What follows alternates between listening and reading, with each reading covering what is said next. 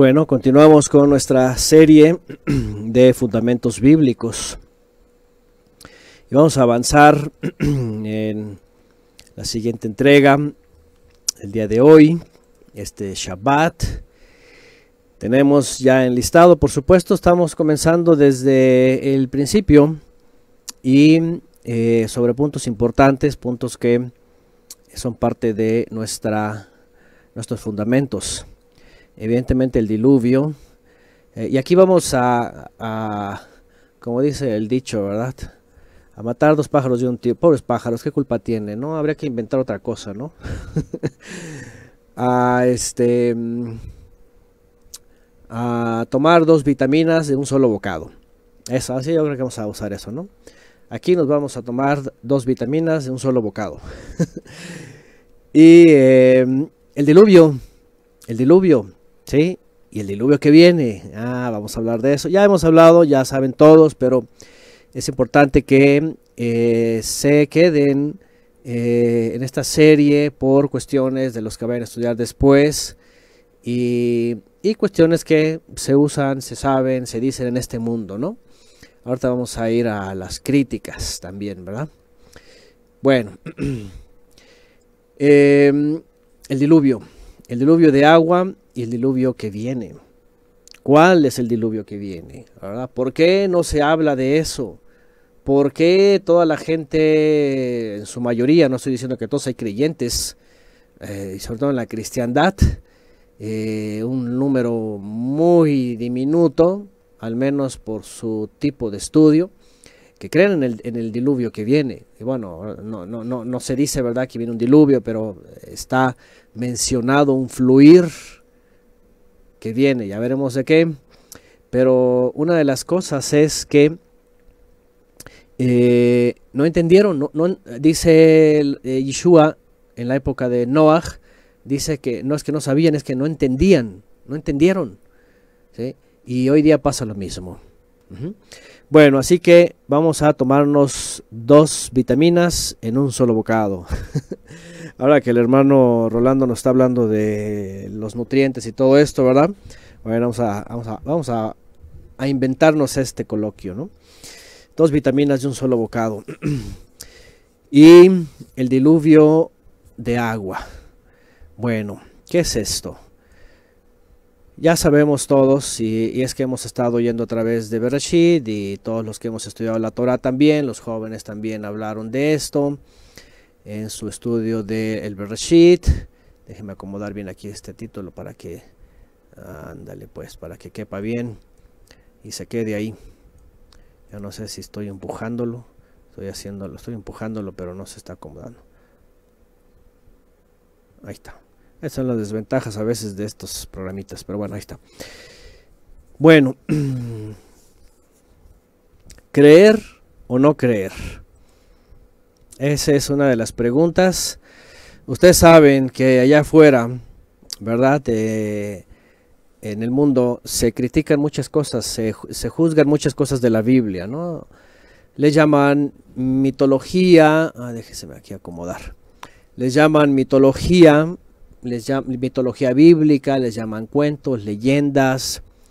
Eh, no todo el mundo referente al gran diluvio o la gran inundación, porque incluso hay otros textos antiguos, ustedes ya saben también eso, lo hemos hablado.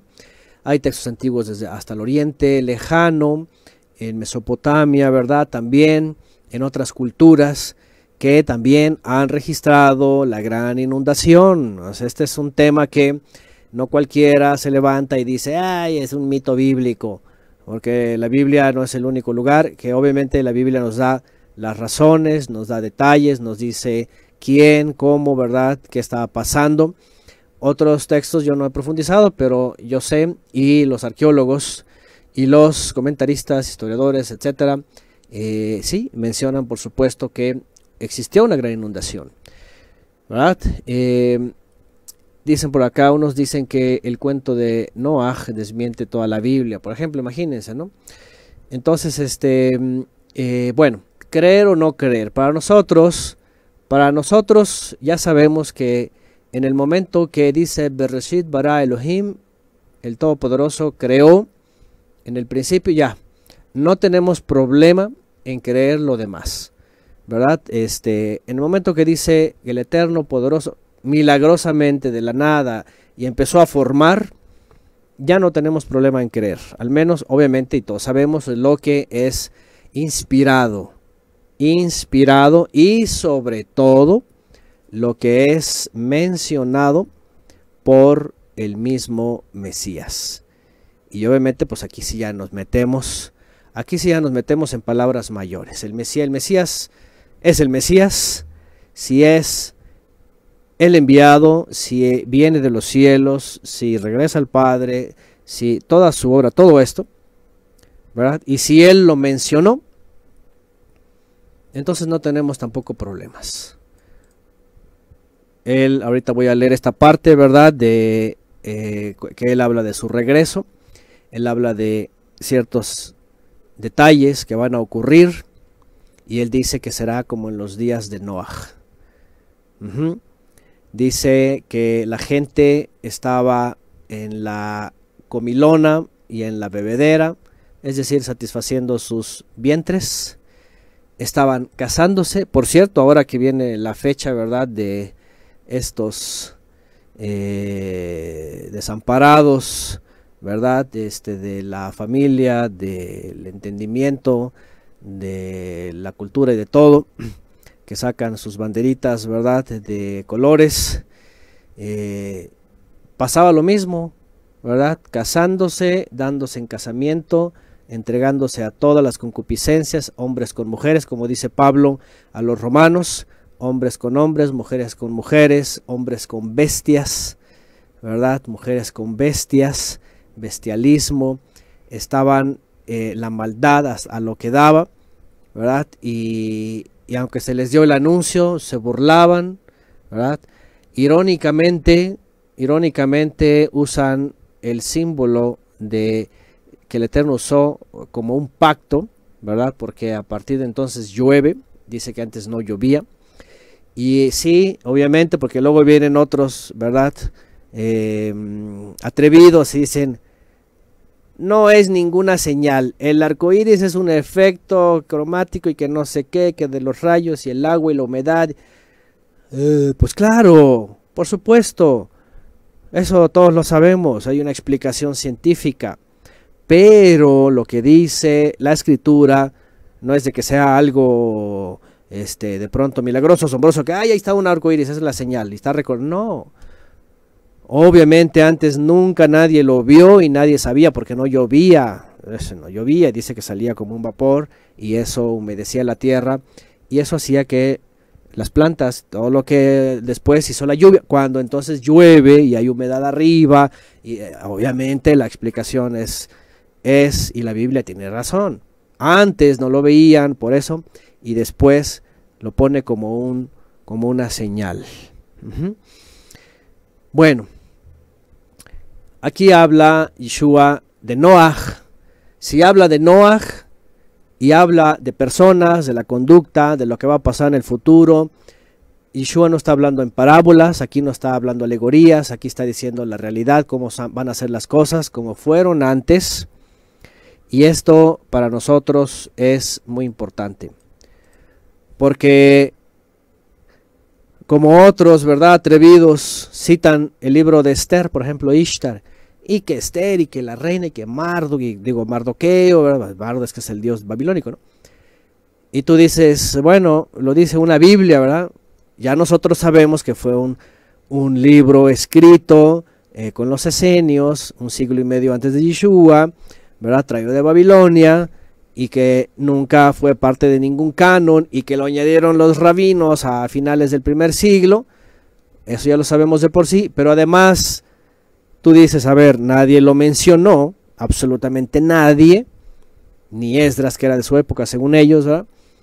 Si nadie lo mencionó, ni Yeshua, ni los emisarios, ni nadie, pues tú dices, no tiene ningún, no, no, no tiene ninguna palomita buena, ¿verdad? Este, para ser creído, por decirlo, ¿no? Yo sé que ese nadie lo cree, ¿no? Bueno, hoy día nosotros, ¿no?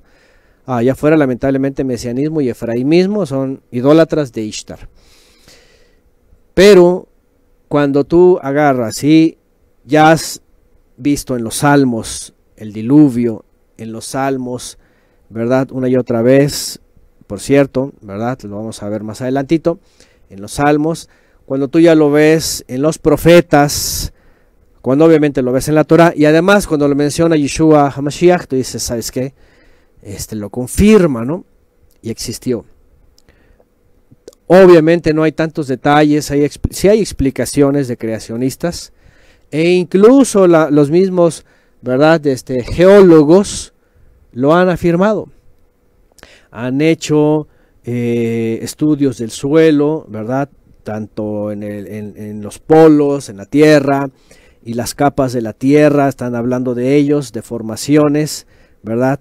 Que, que se dieron estrepitosamente, ¿verdad? Pero que había, eh, que, no, no exceden los 6.000 años. Obviamente hay otras zonas que, como ya, ya habíamos hablado, la, la, edad preadámica había otras condiciones, pero ahí es cuando ya se les van por todos lados los números del carbono y los números de las dataciones, y ahí es un relajo, porque luego te dicen, ay, aquí se fue hasta millones de años, pues, porque, porque no, porque las evidencias y lo que pasó hace seis mil años, obviamente sus máquinas enloquecen. Y dicen, ay, esto parece de diez mil años. Pues es que no hay, ¿verdad? Este, como hay un parteaguas, no hay una forma, ¿verdad? De que, de que puedan ser certeras las, las herramientas humanas, que el carbono 14, que no sé qué, que no sé cuánto. Pero bueno, evidentemente esto no es para, para ateos, ¿verdad? Para incrédulos, esto es para que nosotros lo tengamos como un fundamento, ¿verdad? Y, y no es fe ciega también, como hemos dicho antes, tampoco es fe ciega, no es de que, ay, sí, yo creo porque ya, creo. Bueno, están las evidencias literarias, están las evidencias de las personas bíblicas y del mismo Mesías. Bueno, mencionan por acá, hay evidencias dice, de conchas marinas y estos peces encontrados en las montañas. Sí, por ejemplo, por ejemplo, y hay muchos documentales sobre eso, ¿verdad? Hay mismo en en el, en el Gran Cañón, ¿verdad? En Estados Unidos, todas esas regiones, eh, eh, eh, se cree que son las que se abrieron cuando salieron las aguas. Esas como otras, las aguas del abismo salieron. Y por cierto, en esas zonas han encontrado, ¿verdad? Este, y en muchos otros lugares han encontrado evidencias marinas que tú dices, ¿y esto, esto cómo llegó aquí? Bueno, hemos hablado de eso, hay muchas cosas, ¿verdad? ¿Qué más? Dicen por acá, eh, hasta en la mitología mapuche, dice, se habla de la gran inundación, pero es una serpiente que los salva. Bueno, obviamente ahí ya le ponen su, su, su, su, propio teoría, ¿no? Hipótesis. Dice, hay evidencias, árboles fósiles en la Tierra, fue inundada totalmente. Ahí está, por ejemplo. En fin, eh, se pueden encontrar evidencias y evidentemente lo ha habido, pero Aquí tampoco estamos, ¿verdad? Para, eh, para estar, ah, vamos a las evidencias, para que crean o para yo estar convencido. No, yo simplemente lo leo, el Mesías lo, recuerda, lo cita y digo, ocurrió. ¿Y qué cosa podría ser difícil? ¿Podría ser difícil que lo, que lo hiciera el Todopoderoso? Si Él es Todopoderoso, si Él hizo los cielos y la tierra, imagínense. ¿Ustedes creen que no pueda pueda hacer una lluvia. bueno, voy a poner aquí esto que me gustó. Ahí está, miren. Qué bonito lo hizo también Joel. Déjeme, déjeme ponerle nada más. Vamos a poner un ratito nada más, ¿sale?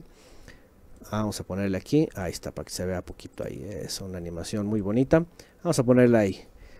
Cuando ya llovió, cuando ya está todo. Y es que la tierra antes estaba en otras condiciones.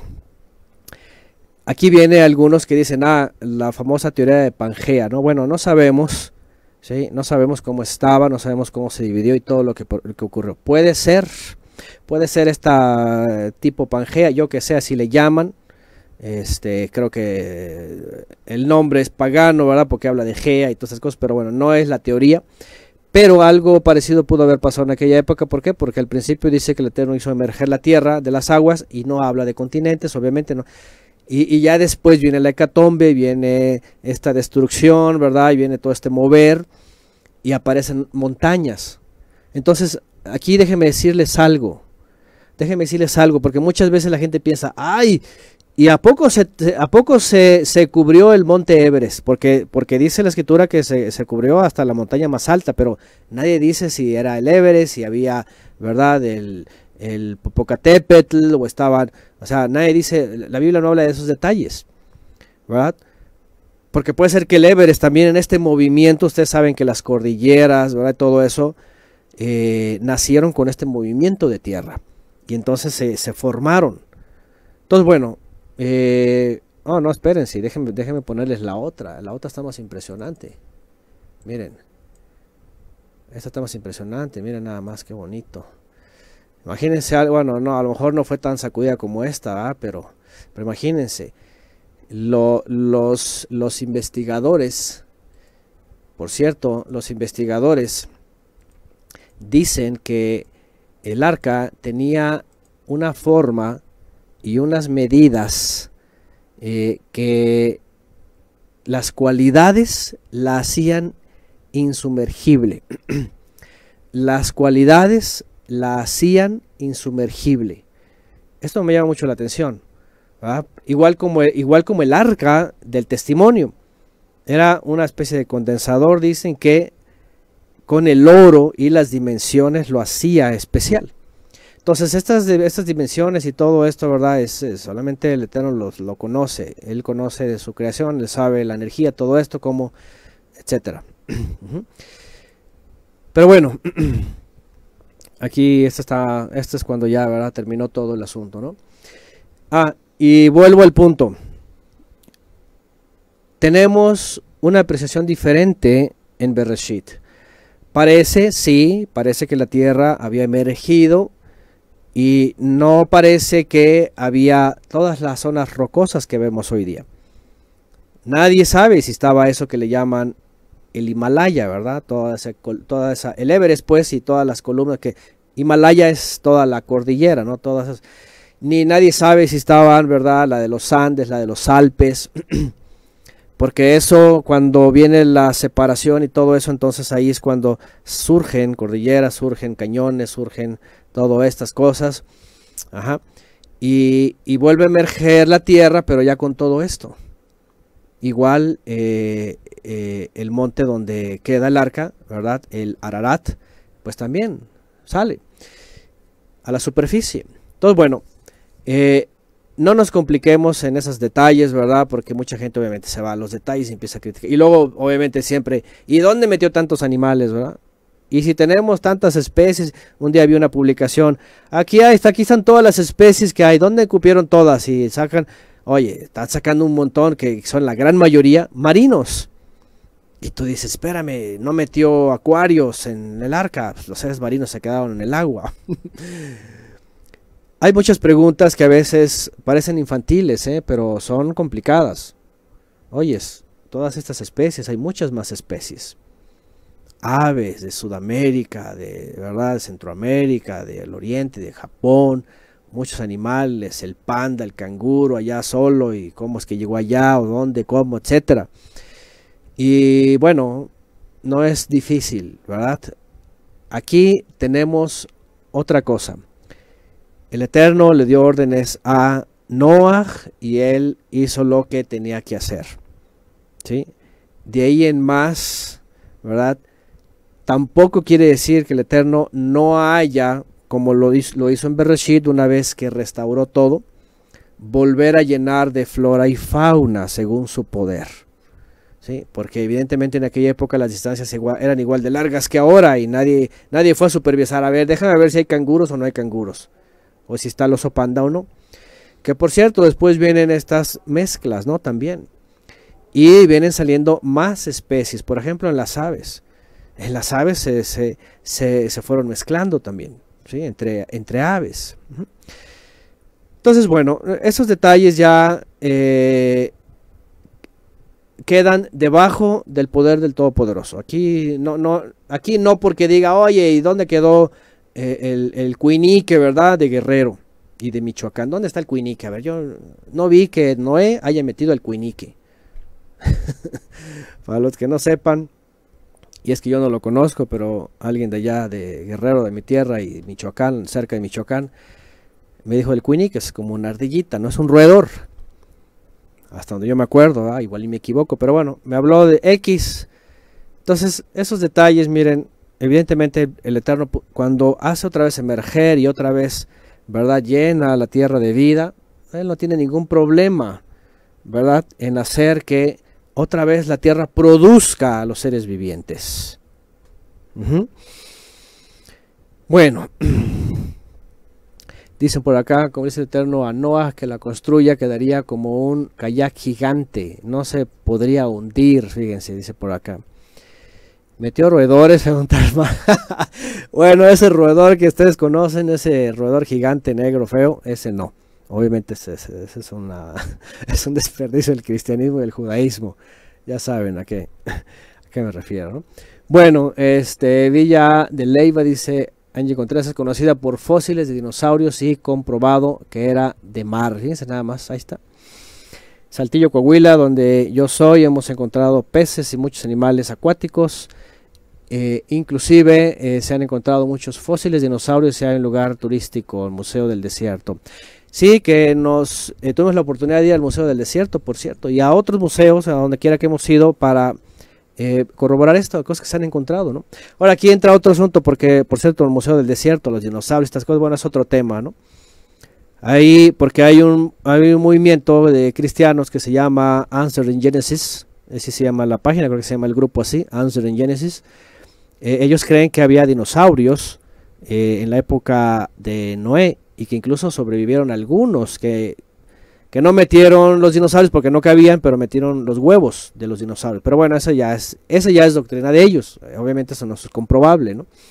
Eso tiene que ver con otra cosa que ustedes ya saben que hemos hablado aquí, época prediluviana, el juicio anterior. Bueno, ¿Qué más? Hay personas que hacen preguntas pero en forma de desprecio o para levantar controversias. Sí, eso es lo malo, por eso esas preguntas, ¿no? a ver, y sus preguntas son como, Son, de incredulidad, son, de, son para causar enojo y debate, ¿no? Cuando las especies se adaptan, los ambientes cambian su apariencia, dice Milton Ventura, por ejemplo, y no es que evolucione, simplemente adaptación. Según la película de Noé, los animales fueron dormidos durante todo el diluvio, dicen por acá. Eh, bueno, eh, son eh, las películas han sido hechas de documentos extrabíblicos, nadie sabe eso. igual y no durmieron y estuvieron en ayuno y el Eterno los sustentó sin nada. Así que no, no es necesario que tengan que dormir porque no van a comer. Pudieron haber estado despiertos y simplemente el Eterno los alimentó como el Eterno alimentó a los hijos de Israel en el desierto con mana. Y bueno, ya saben ahí, ¿verdad? Que hay películas y todo esto y muchas distorsiones.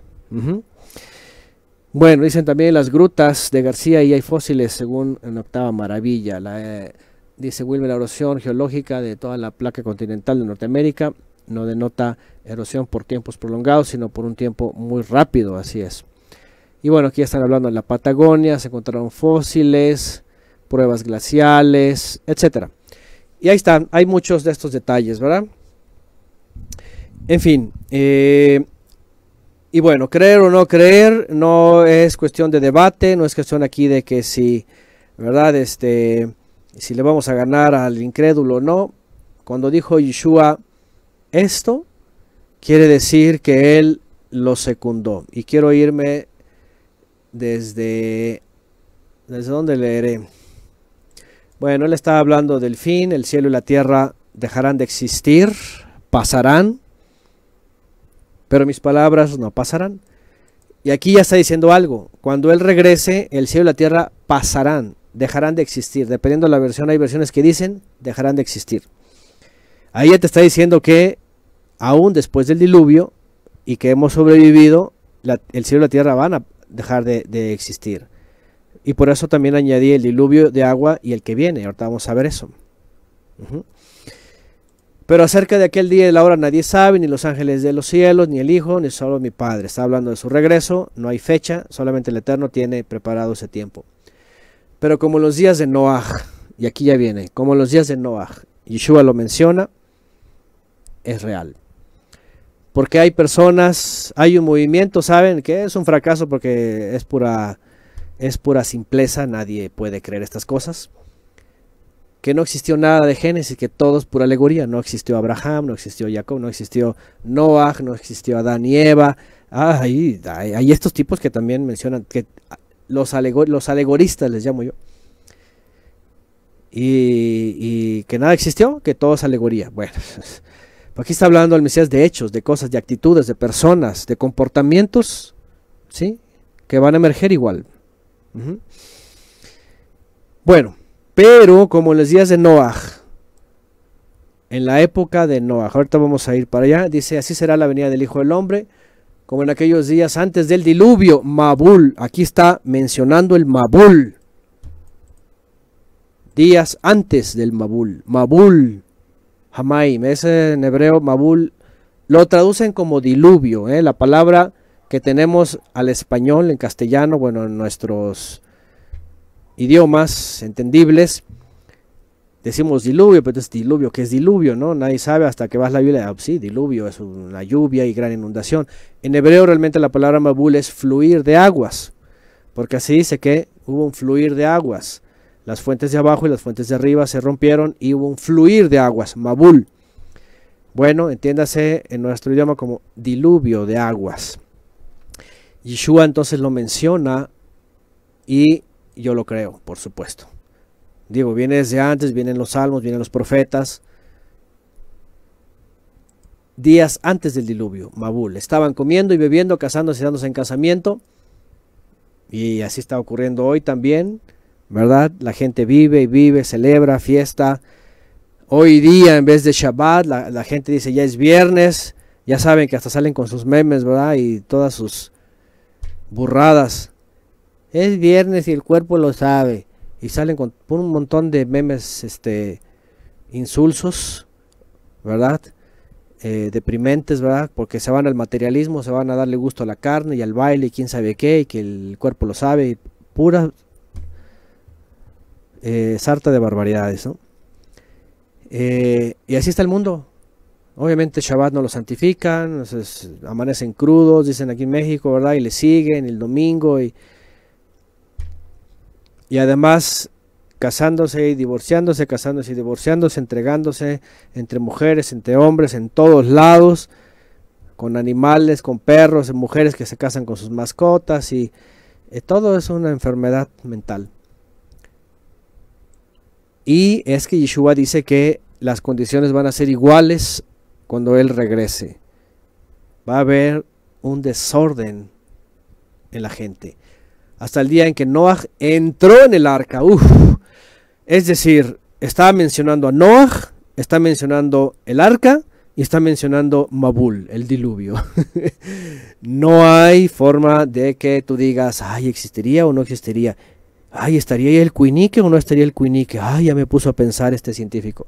Olvídense, eh, a las personas que tengan así problemas de que, ay, ignórenlo. Simplemente, ¿sabes qué? Lo mencionó el Mesías y el Eterno es poderoso y Él sabe lo que hace, cómo lo hace y... Estaban con los placeres carnales y nada de santidad, dice Franco Chandía, así es. Lo que viene es un diluvio de fuego, así, así lo vamos a ver más adelante. Y aquí es que aquí lo hemos hablado todo el tiempo.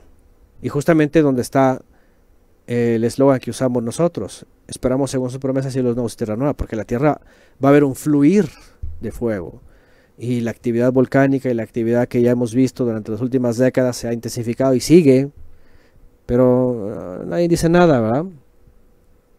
Dicen por acá, le llaman viernes social, sábado de no sé, y dice no sé qué, y domingo familiar, fíjense nada más. Hasta en la iglesia, viernes y sábados es puro goce, parranda espiritual, dicen ellos. Es lamentable, ¿no? Es muy triste esto, pero bueno. Yeshua mencionó eh, perdón, mencionó a Noah, a Mabul y también a la gran embarcación, que también la entendemos como arca, ¿verdad? Pero dice una gran embarcación.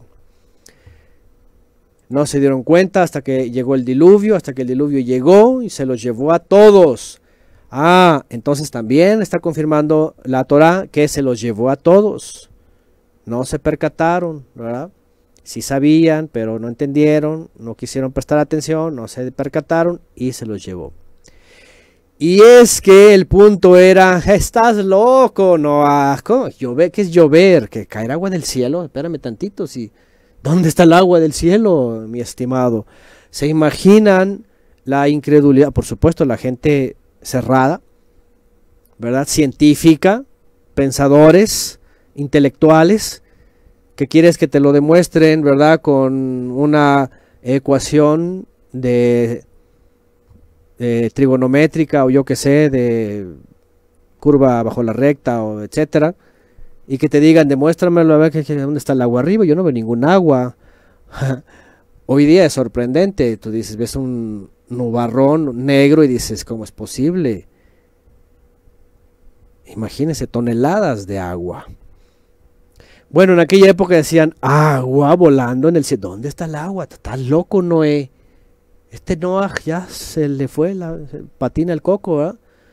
Lluvia, ¿qué es eso? No, estás mal, vámonos a la fiesta. Aquí, mira, pura fiesta. Si le dices allá a la, a la gente afuera, ¿sabes qué? Se van a abrir, ¿verdad? ya se está abriendo la tierra, se van a abrir y va a fluir fuego y se van a derretir los elementos y va a ser consumido todo lo que hay aquí, se va a ser destruido toda idolatría, todo pecado, es que la tierra está muy bonita, ay, es que mira, dijo un tipo hace tiempo, ¿verdad? Que conocimos a manera de burla, ¿eh? lo decía. ¿Cómo, cómo Dios va a... Eh, raíces hebreas y todo, pero sigue diciendo Dios. ¿Cómo Dios va a destruir este lugar tan hermoso, tan bonito? No, no, y es que ahorita eh, para jalar a gente pues se fue allá cerca de la playa, ¿verdad? Lugares turísticos allá en la península y está metiendo gente ahí en la sinagoga. Quiere, disfrutar el paraíso, ¿no? Tener ahí a sus... Engañando obviamente con puras doctrinas efraimitas, pero decía, ay, si Dios ha hecho todo tan bonito, ¿cómo lo va a destruir? Ve qué bonito, los pajaritos. Él no puede destruir eso. No puede, está muy bonito todo. Y tú dices, ¿y cómo lo hizo con el diluvio? Entonces, ¿no se tocó el corazón? Arrasó. Es algo que el hombre, como dice el Eterno mismo, mis pensamientos no son vuestros pensamientos, vuestros pensamientos no son los míos. Así que mejor párale de pensar, ni te canses, ni gastes tus neuronas porque se van a quemar. ¿Verdad? Vamos a ver que en efecto hay un Mabul y aunque la gente diga, nah, estás loco, no es cierto, ¿cómo que? ¿A dónde? A ver, ¿dónde están los ríos de, de, fuego, verdad? Bueno. Bueno. Así es, decían que Noah era, estaba mafufo, pero ahora ya vieron quiénes estaban mafufos, a todos se los llevó. Así también será la venida del Hijo del Hombre. Yeshua está mencionando que así será su regreso inundación. Vean, en griego la palabra diluvio o inundación. Ahí está, Jimena, gracias. Cataclusmos. Cataclusmos. Ándale, pues, inundación, ¿verdad? Vámonos a Bereshit. Si ya lo dijo Yeshua, Yeshua sabía la Torah, por supuesto. ya hablamos de los seres caídos, que también es un fundamento, la maldad que hayan inyectado, el caos que han causado. En aquella época fue lo mismo, por cierto, los seres caídos hicieron que pasara esto con la humanidad. Y en esta época, ahora que la profecía se cumple y hace un siglo y medio, dos siglos, ¿verdad? Con el movimiento de la ilustración, se abre el pozo del abismo y todo eso que parece luz y razón es tinieblas y destrucción, salen otra vez del pozo del abismo, salen a engañar a las naciones. El príncipe dice del pozo del abismo, el destructor, Abadón o Apolión, griego o hebreo, dice. Y sale, y sale el pozo del abismo y empiezan a preparar a la gente para la perdición. Para que digan derechos humanos, ¿qué me voy a estar sometiendo a la Biblia ni qué nada? Tengo mis derechos firmo por mis derechos, yo hago lo que quiero con mi vida, yo aborto si quiero, yo si quiero yo me quito la vida o, me, o hago lo que quiero, me, rayo la, la, cara, la piel, ¿verdad? Este, como lo que quiera, respétame si quiero ser, si quiero ser jirafa o elefante o lo que sea, ¿verdad? No me digas nada y los derechos del hombre. ¿Desde cuándo tiene derechos? ¿Cuándo se sublevó? Siempre, pero ahora... Y salen, y, en las sociedades secretas están los seres caídos, ¿verdad? Haciendo perversiones de todas las secciones, todas las áreas. Ya hablamos de eso. Pero lo digo porque está ocurriendo ahora y están llevando a la humanidad a la misma condición y por eso dice como en los días de Noah. Las características son las mismas, multiplicidad o multiplicación de las, de las personas. Estamos llegándole a las 8 mil millones de personas sobre esta tierra. Imagínense lo que hace la ciencia, lo que están causando, las muertes, ¿verdad? Este, todo, todo, todo, violencia, saltos, ya todo es, es este, pesar. Bueno.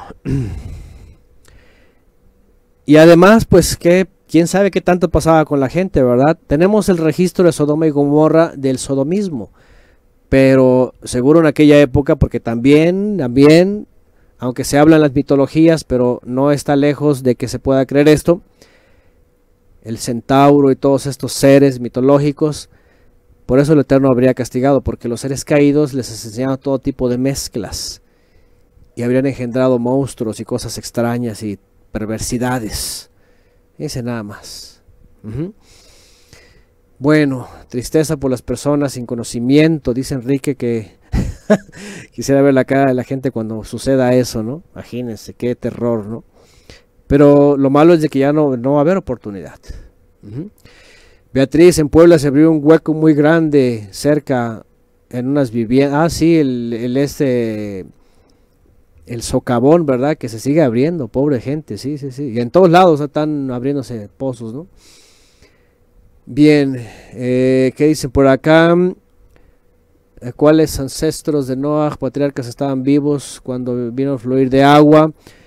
Eh, en esa época no se sabe, no se sabe, Metushelach se cree que murió en la época del diluvio, ¿verdad? Está los que hacen las cuentas con los años dicen que o murió con el diluvio, que es poco probable porque no habría recibido el castigo como tal, más bien murió en el año del diluvio, posiblemente antes, pero fue el último patriarca. De ahí más, la verdad no sabemos porque si dice la escritura que solamente él con su mujer y sus hijos y sus nueras, tú dices, esta situación está terrible, porque quién sabe cuántos sabían, pero si nada más ellos, pues dices, es que ya no había fe en la tierra. Por eso Yeshua dice, cuando venga el Hijo del Hombre, hallará fe en la tierra, fidelidad, seguridad, certeza, obediencia.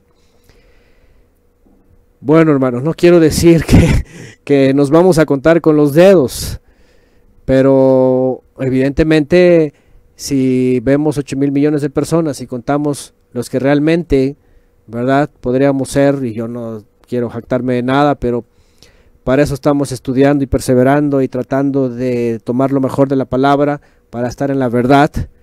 Pero independientemente, cada quien va a decir que tiene la verdad, pero esperemos estar dentro de eh, día de la redención pero comparados a 8 mil millones de personas, los que seamos vamos a ser como contados con la mano. Yo espero estar en ese número. Yo me esfuerzo cada día y los míos. Pero al final, no vamos a ser 8, 9, 10, 15, 20, no sé, pero siempre se habla de un remanente al final. Y al final, pues hay más habitantes que en la época de Noah. Bueno, ¿qué más? Dicen por acá. Eh, dice. Ah, ¿Cuáles ancestros? Bueno, sí, dice cataclismos. Dice Ángel Contreras, ayer vi un documental de niños de 8 años donde se disfrazan de transvestis. Imagínense nada más. No, no, esto, ya, ya lo tienen ahí todo, ¿verdad? No, torceduras. Derechos de, de perdición, dicen por acá. En fin, en Canadá ya es permitido la zoofilia, dicen por acá. ¿Se acuerdan que hablamos hace unos años, verdad? De que eran, son propuestas de leyes, ¿verdad? Y todo esto. Y ¿se acuerdan que lo dijimos? Los que llegaron a escuchar hace tiempo, justamente los temas de Torah, cuando hablábamos del bestialismo, pues está prohibido obviamente en la Torah. Y dijimos que ya había una propuesta de ley en Canadá, ¿verdad? Otros países que podían... Eh, y es que las leyes son perversas, ¿no? Te dicen, te dicen puedes, puedes tener una acercamiento amistoso con tu, con tu mascota, ¿no? Obviamente no dicen, ya puedes ir y hacer sofilia, ¿no? Usan siempre palabras, ¿verdad? Eh, suaves, ¿no? Ahí es donde viene la trampa, ¿no? Pero básicamente le estás diciendo, haz lo que quieras con tu mascota, pues eres tú y eh, tienes el derecho, tienes la libertad y a nadie afectas. Y obviamente si la mascota pues no viene a decirte, oye, ¿por qué? Pues... ¿Mm? Bueno. ¿Se acuerdan? Este, bueno, llegamos a hablar de todo eso, ¿no? Es terrible, ¿no? Aberraciones. En fin. Sigo leyendo. La maldad sintió pesar, borraré. Ahora, sepan esto, el Mesías cuando menciona este texto está recordando el relato y está recordando que así va a ser. Así va a ser. Número uno, el creador es el dueño de todo, él administra, él sabe, él sabe hasta dónde tiene que poner un alto. A él nadie le puede cuestionar qué hace con su creación, nadie puede estar por encima de ninguna decisión. Y todo lo que pasó es, además, porque el hombre mismo se lo causó por tanta perversión. Y ni modo, el Mesías también estaba recordando esto, que borró sobre la faz de la tierra lo que había creado. Entonces Yeshua dice, así será en aquel día, ¿verdad? Como en los días de Noah. El Eterno va a borrar de sobre la tierra toda la maldad, la iniquidad. Ahora vamos a ver después, porque si luego vienen estos románticos, ¿verdad? Dicen, ay, qué bonita tierra. No, es que aquella vez fue y dice que ya no lo va a volver a hacer. Ahí dice, prometió Dios, dicen ellos, que no volverá a destruir la tierra. Ya ves, si vienen con su romanticismo, ¿no? Y no leen más abajo que dice, ya no lo volverá a hacer con aguas. en hebreo es muy claro porque dice, y el Eterno dijo, no volveré a destruir más la tierra con aguas. Ándale, porque ahí ya el Eterno se está reservando, ¿verdad? Derechos reservados, ¿verdad? Pon atención en lo que dice. Ya no la volverá a destruir con aguas. Maim. Cuando viene el Mesías y viene a destapar las cosas que estaban escondidas desde antes de la creación, la da a sus discípulos y por eso viene Shimon Kefa, que no es cualquier discípulo también, es un emisario, es alguien que atendió a las palabras, comprendió, tuvo discernimiento y tuvo revelación, y él fue el que dijo, hemos recibido revelación, que la tierra va a ser consumida por fuego, va a haber una inundación, un fluir de fuego. Va a terminar como un, fuego, como un sol. Bueno, dice, borraré sobre la faz de la tierra. Ahora esto es muy importante, ya me estoy adelantando, ¿verdad? También al, al diluvio de fuego, ¿no? Estamos viendo la maldad del hombre, ¿sí? Y el Eterno borró. Ahora, esto es muy importante porque yo sé que también vienen los efraimitas. Una de las cosas que, vienen disparados los efraimitas y a mí me lo han dicho una que otra vez en todos estos 10 eh, años últimamente, sobre todo en las redes sociales, que no, no, no, no, no. La tierra, y sacan con los salmos, ¿verdad? Hay un montón ahí de, efraimitas. Sacan, y aquí dice el salmo: La tierra fue, creado para, fue creada para el hombre. Así, así, totalmente fuera de contexto, un solo versículo aislado. Y aquí, mira, la tierra fue creada para el hombre. Y tú dices, pues claro, el Eterno la creó, puso al hombre, etcétera, etcétera, pero ve todo lo que causó el hombre y ve lo que está causando. Y viene el Mesías y te dice, se acabó, ¿verdad? Tienen que regresar al Padre y el Padre está preparando un lugar celestial.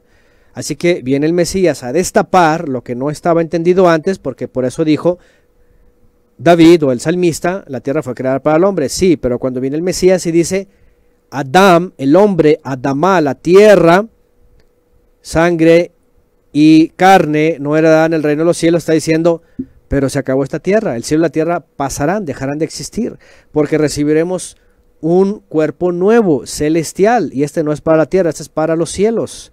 Así que se les derrumbó toda su doctrina, porque por ahí vi a alguien que puso un, eh, que repitió un post de unos mesiánicos, a lo mejor ni lo leyeron, ¿verdad? Pero a mí se me hizo, dije, ¿qué, ¿qué se está haciendo? Voy a ver qué dicen aquí.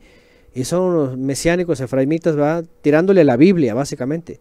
Dicen que están criticando el cristianismo. Bueno, el cristianismo tiene muchos errores teológicos, pero, pero espérenme, esas son verdades. No puedes, no puedes acelerarte criticando lo que quieras y no te das cuenta que el Mesías habló de esto.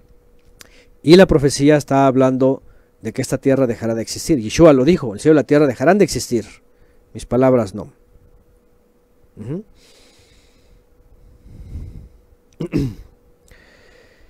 en fin, Ah, dicen que cuál, ah, estoy usando la versión textual tercera edición. Ah, por cierto, se me olvidó decirles lo de Lizort. Ya no, ya no di el tutorial el lunes pasado porque tenemos problemas con el internet, todavía no lo pone, estoy usando puros datos. Es, ya saben, usar datos para esto. Y, lo más que he podido ahorrar, por eso no, no pude dar, pero está pendiente, ok, se los voy a dar más adelantito para que el Lizort, ahorita que preguntaron por las versiones y puedan bajar todas las versiones que hay ahí disponibles y usarlas. Y ya yo les voy diciendo cuál voy usando. ¿no? Ahorita estoy usando la Biblia textual tercera edición. Bueno, dice Sandra y David Hicks en el canal de Historia Documental que 10 maneras con fuego que la tierra y la humanidad será exterminada y nadie podrá hacer nada. Por ejemplo, de hecho, yo les he dicho, hecho, dicho antes esto en estudios de profecía. Todos los científicos dicen no hay vuelta atrás, por eso están saliendo disparados que para Marte, que para Júpiter, que para no sé dónde quieren ¿verdad? irse a vivir a otros lados, pero los científicos saben que el Sol está cambiando su condición y que, aunque ellos dicen, ah, bueno, faltan muchos miles de años, bueno, eso dicen ellos, ¿verdad? pero ellos saben que en algún momento el Sol va a alcanzar a la Tierra y va a ser consumida y, y también ese mismo magnetismo está produciendo que eh, salga disparado el magma. Así que ellos sí saben, ellos dicen, sí, sí, sí, claro que sí puede ocurrir esto. Aunque dicen que, millones, que miles de años, pero, pero esto el Eterno lo puede hacer en el momento que Él quiera. Si Él dice, se acabó, mañana empiezo, mañana empieza. Es decir, aquí es donde viene el poder del Creador y Él, hace lo que quiere con, lo que, con lo que tiene. Y aunque el hombre puede decir, ah, no, pero faltan mil años, según nuestros cálculos, no, pero el Eterno puede ser en minutos, que sus cálculos se apresuren cinco segundos. Los cálculos humanos de cinco mil años se, se apresuran en cinco segundos. Así que el hombre no tiene posibilidades. Bueno, aquí dice que borró todo. Si él borró una vez, pudo ver o podrá borrarlo después. Noah halló favor del Eterno ante los ojos del de, halló favor ante los ojos del Eterno. Y aquí vemos otro detalle, ¿verdad? Noah no era cualquier hombre, Noah era un hombre temeroso, conocía el Eterno, andaba en justicia. Aquí dice, no era un religioso, no era un iglesiero, no era que, ah, ¿quién vive? Ya es un hombre, y verdad, no. Estas cosas religiosas que creen que son algo y que hay, que ya fueron a convertir a los leones o que están o que llevan la Biblia en el bolso y que están predicando en los camiones y esa es pura religiosidad, esas son puras verdad este dogmas. La vida de justicia se ve diferente. No no eres como el mundo, no haces lo que hacen ellos, no comes lo que comen ellos, no vives como viven ellos, no dicen lo que dicen ellos estás obedeciendo, estás sirviendo, estás separado incluso de, los movimientos, religiones, eh, todo eso, sistemas, filosofías, apartado, consagrado. Y este es, esto es, ahí les va para nuestra época, una particularidad que tenemos que vivir nosotros. Porque estamos en el mundo, pero no somos de este mundo. Yeshua dijo, están en el mundo, pero no son de este mundo. No te pido que los quites de este mundo, guárdalos del maligno. Y eso, por eso oró el Mesías, así que tenemos que ser diferentes. Vivimos en este mundo, incluso en ciudades y en un montón de cosas a nuestro alrededor, pero no tenemos que ser como el mundo. Cada quien vive como quiere, hace lo que quiere, Nosotros no, estamos bajo la autoridad del Todopoderoso y sus mandamientos. El Mesías y sus emisarios. Bueno. Corrompida. Se corrompió la tierra en presencia de Elohim. Se llenó la tierra de violencia. El Todopoderoso vio que estaba corrompida. Toda carne corrompió sus caminos su camino sobre la tierra, es decir, su forma de vivir, su forma de, andar. Corrupción comienza con qué? Con falta de integridad, con engaño, mentira, corrupción, este, robo, eh, y bueno, va creciendo, ¿verdad? Pero una sociedad, ahora ustedes vean, cierto o no cierto, la gente ya se afuera. O sea, no, no, no puedes confiar en la gente. A veces aparenta bien, pero a la hora de la hora está buscando por sus intereses se esconden, te engañan, ¿verdad? Se quieren beneficiar, este, es, horrible. Por eso el dicho, ya no se puede confiar en nadie. Y, no es que la gente sea así que quiera hacerte mal, pero la gente está buscando por lo suyo y obviamente te, eh, no, les importa nada. Y esto es, corrompieron su camino. Su forma de caminar o su camino es su forma de vivir lo que creen, lo que piensan. Obviamente rechazaron ya al Creador, ya cada quien hace lo que bien le parece.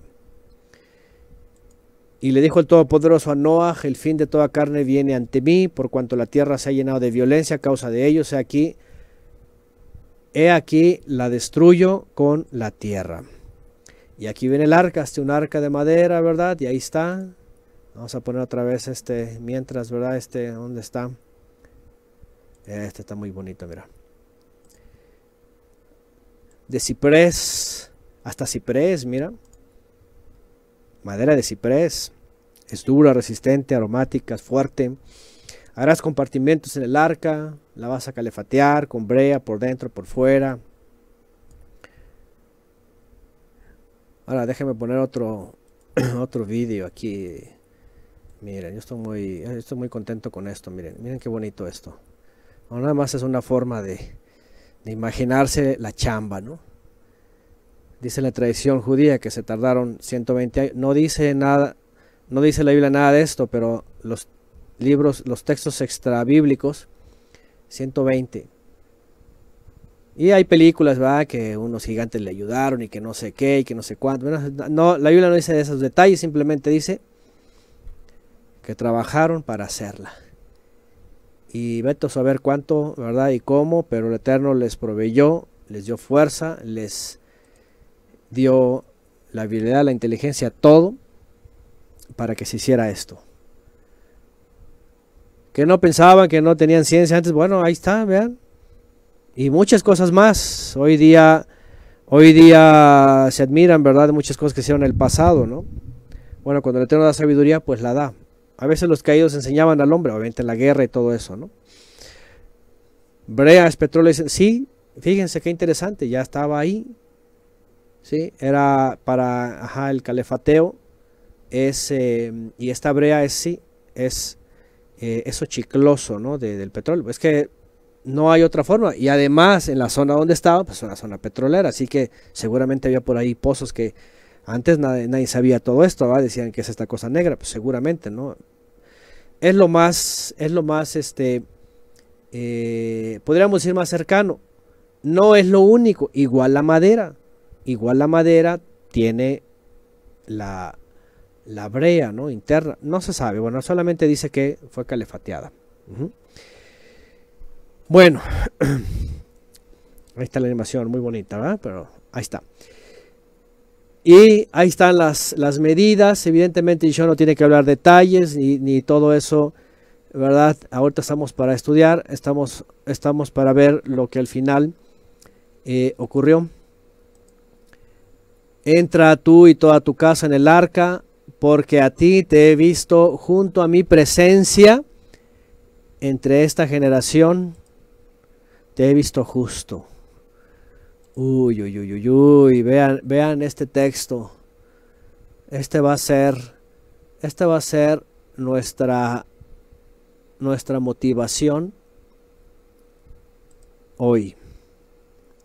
Al panim, delante de mi presencia, el Mesías se hacía manifiesto. Cuando ustedes vean al panim, panim, fenem, quiere decir que la presencia del Eterno estaba ahí, o la presencia sí, a través del Mesías. Vean, panim, su rostro, cara, el ángel del rostro, el Mesías.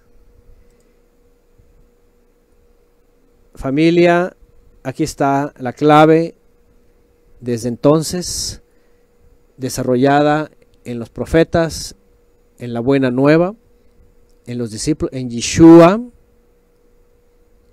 que nos vea Sadikim delante del Mesías en nuestra generación. En todas, por supuesto, los que ya duermen ya tuvieron su oportunidad. No sé si nos toque o peregrinemos y, y durmamos, pero no, no, no está buscando de ti que seas activista, religioso, iglesiero, ¿verdad? Este, fanático y ahí que no, no, te está pidiendo eso. El Mesías enseñó justicia, igual Apocalipsis al final, el que sea justo, practique más la justicia. El que sea puro, purifíquese más. Ahí está la perseverancia, el que tiene al Todopoderoso y el testimonio del Mesías, que guarda los mandamientos y el rostro, la cara, al panim, eh, la faz del Todopoderoso, que es el Mesías. Si esto ocurrió, esto va a ocurrir.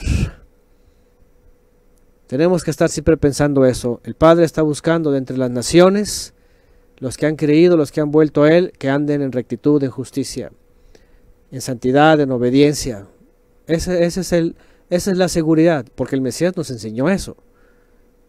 Eh, de hecho, el Mesías, Apocalipsis al final, y fueron juzgados todos según sus obras a ver si hay justicia en ellos. Obviamente el Mesías vino para acercarnos al Padre, pero aquella persona que es acercada al Padre, pero vive en injusticia y en infidelidad a Dios. Por eso Yeshua dice, en aquel día muchos me dirán, ahora que tocamos el tema también con los converos, ¿verdad? De, de, de, la muerte, del infierno y todas esas cosas. Y es que mucha gente cree que muerto el hombre, muerto el cristiano, vámonos para el cielo y se convierte en un angelito, o Pedro lo recibe, ya saben todas estas cosas.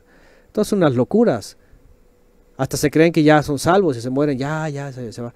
Ay, murió con una gran sonrisa, mira qué felicidad y qué paz. Ay, que soñó que, ay, un ángel, me llevan, me llevan, me llevan. A ver, pero Yeshua dice, en aquel día muchos me dirán. Ah, entonces muchos habrían muerto confiados, pero su confianza era nula.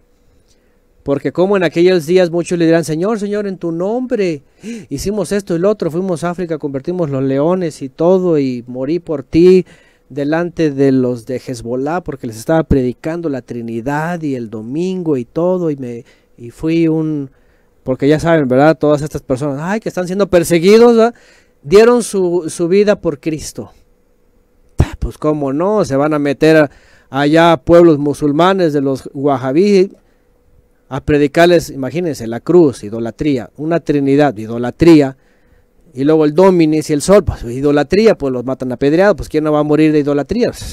No es por Cristis, es por idolatría. Pero lo que estoy diciendo es, eso no es justicia, no, está pidiendo el Todopoderoso que seas un héroe, que seas un mártir, que Está diciendo que vivas ante su faz, es decir, ante el Mesías, que es el intercesor, que es el que dio su vida por ti, que vivas como Él vivió, que vivas en justicia y santidad.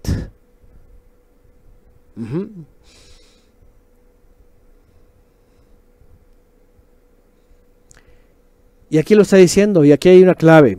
El Mesías está puesto por intermediario. Eh, el Mesías es el que supervisa la creación y él el que dice, quién está bien, quién anda en justicia ante mi presencia.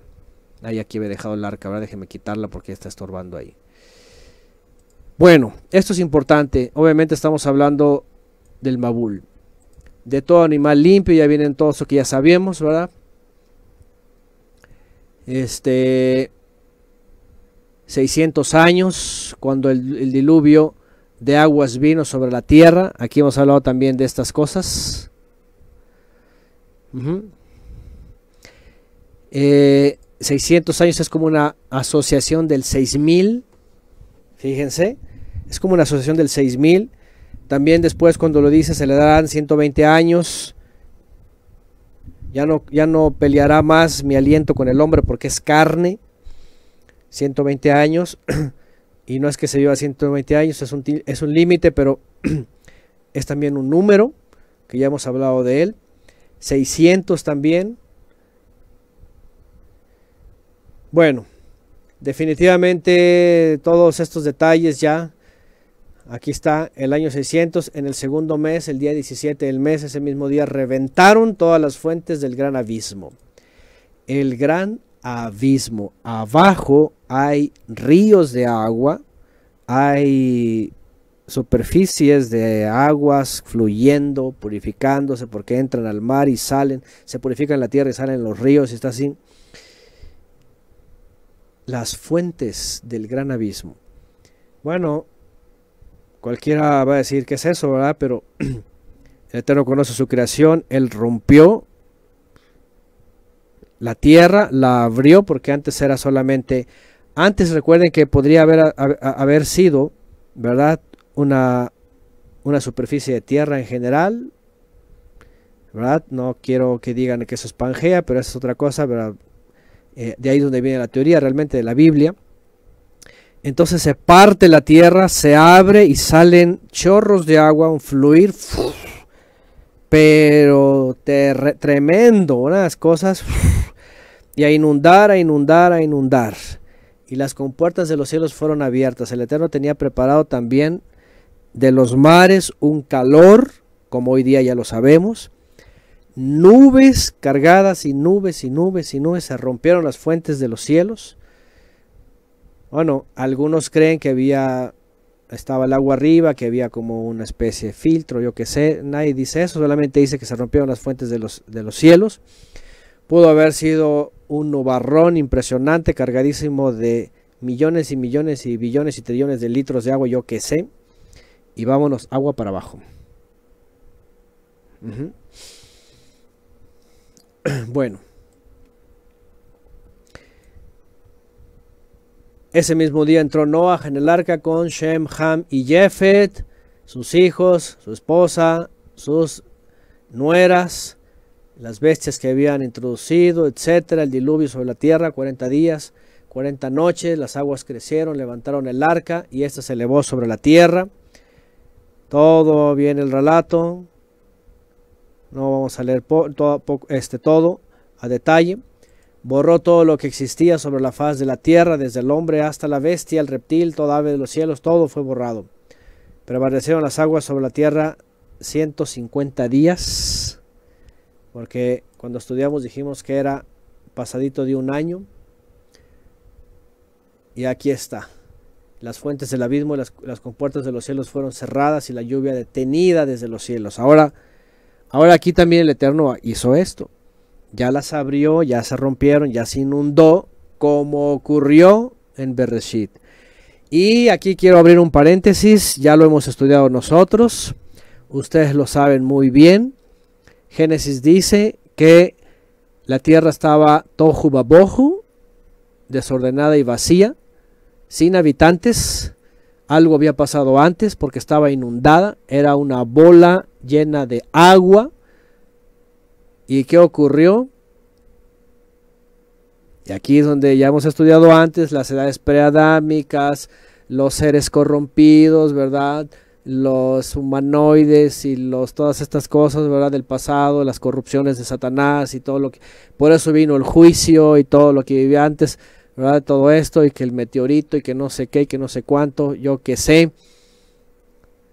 No da detalles la Biblia, pero estaba toju baboju, quiere decir hubo un cataclismo antes y estaba inundada. Ya en Génesis ya la tierra está inundada, ya había habido un diluvio antes. Y por eso cuando en Génesis vemos y no va a destruir el Eterno nuevamente la tierra con otro diluvio, es porque había habido uno antes y quizá de cuántos antes, no sabemos. Ni, ni nos interesa. porque somos de Adán para acá. Pero el punto que quiero mencionar aquí es que la tierra ha sufrido diferentes juicios aparentemente, ¿verdad?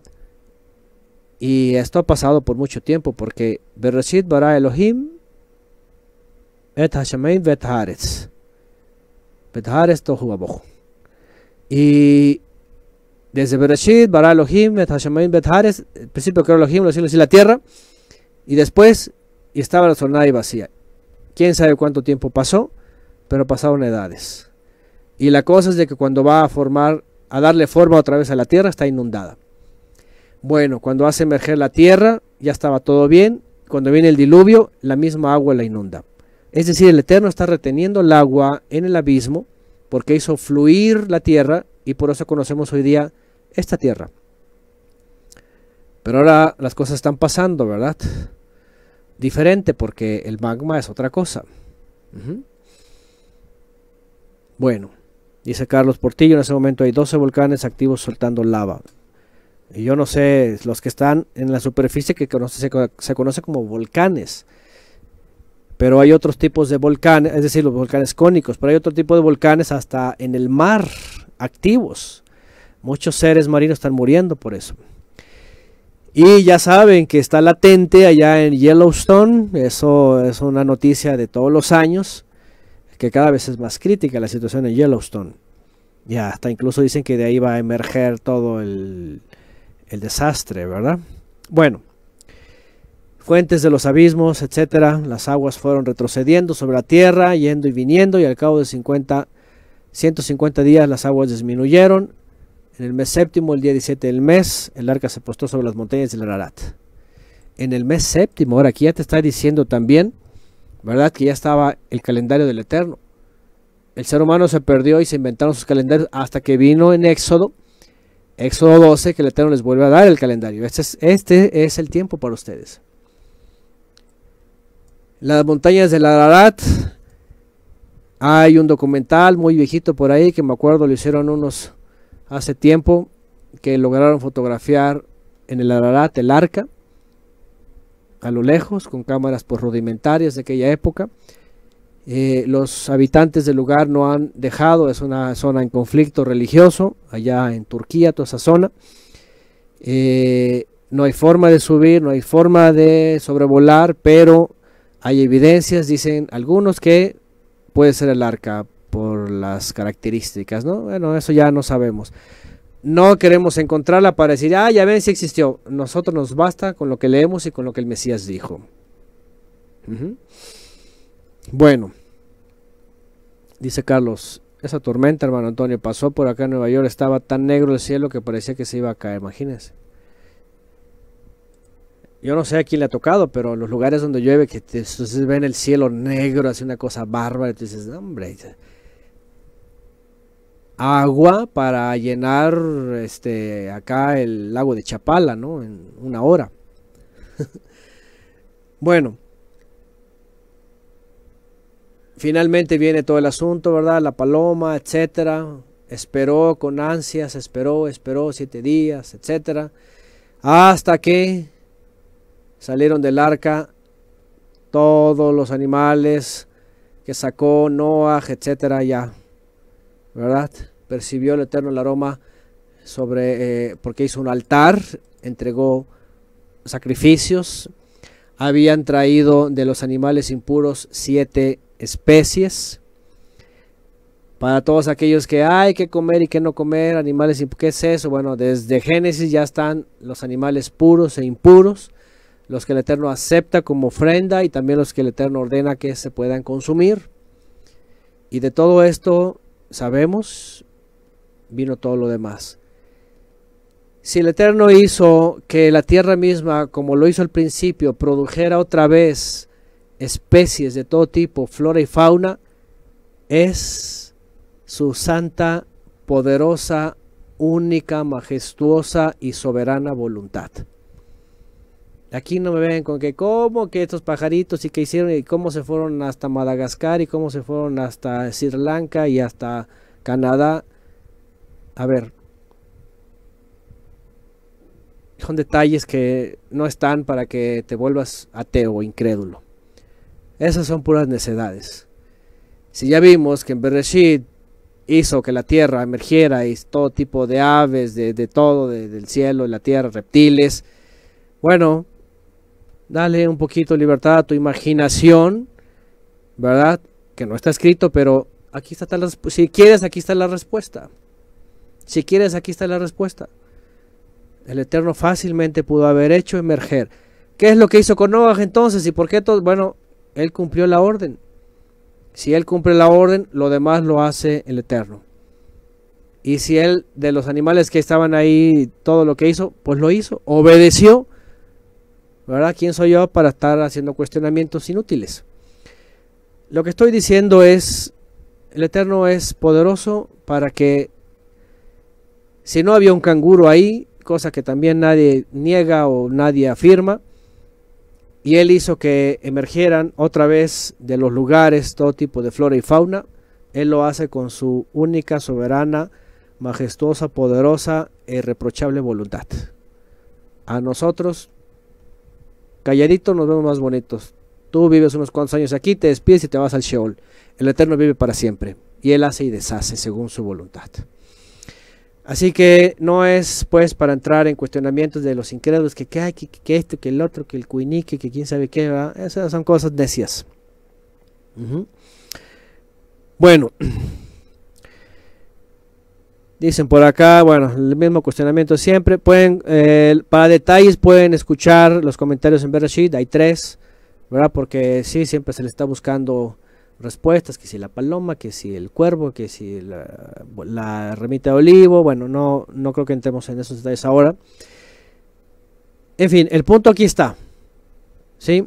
Eh, ah, y aquí viene, aquí viene, ya quiero llegar aquí para irme a lo que nos va a llevar al siguiente diluvio. Construyó Noah un altar, entregó sacrificios, Dice, percibió el Eterno aroma aplacador y dijo el Eterno en su corazón, no volveré, ahí va, no volveré más a maldecir la tierra por causa del hombre, porque dice, la inclinación del hombre es mala, desde su juventud no volveré, por tanto cortar a todo ser viviente como acabo de hacerlo. Durante todos los días de la tierra no se hará la siembra y la cosecha, el frío, el calor, el verano y el invierno, el día y la noche. Los bendijo a Noé y a sus hijas y multiplicad, multiplicados, llenad la tierra, el temor y el pavor de vosotros sea sobre todo animal de la tierra. ¿Se dan cuenta otra vez lo mismo? Un, reseteo. Dice, sean sobre todo animal de la tierra, sobre todo ave de los cielos, en todo lo que se mueve sobre el suelo, los peces del mar en vuestras manos son entregados, todo lo que se mueve y vive o servirá de alimento, lo mismo la hierba verde y os lo queda. Ahora, aquí hay un dato rápido. ¿eh? Todo lo que se mueve y vive os servirá de alimento.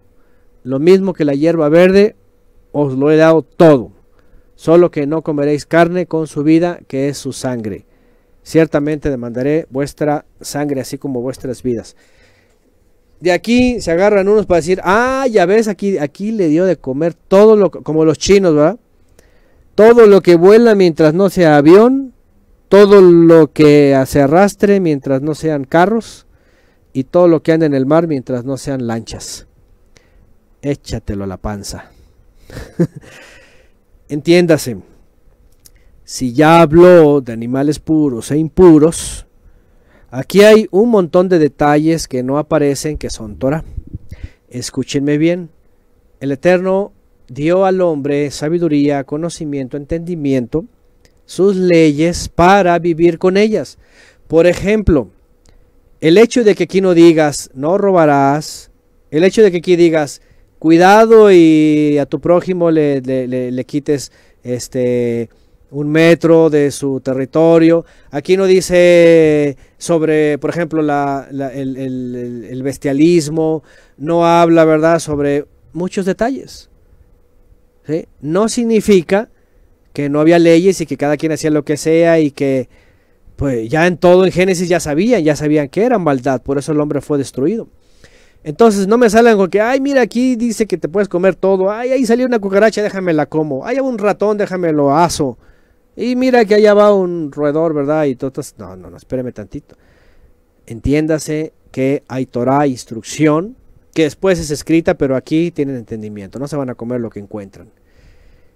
¿Por qué? Porque acabamos de leer que saben lo que es puro e impuro. Puro e impuro. ¿Correcto? Bueno. Uh, Dicen por acá, para mí es como los 19 cuando juré que las aguas del diluvio no volverían a correr en la tierra, así jurado no enojarme más contigo, ni volverá a reprenderte. Bueno, aquí están citando Isaías sobre los juicios, sobre otros juicios, ¿verdad?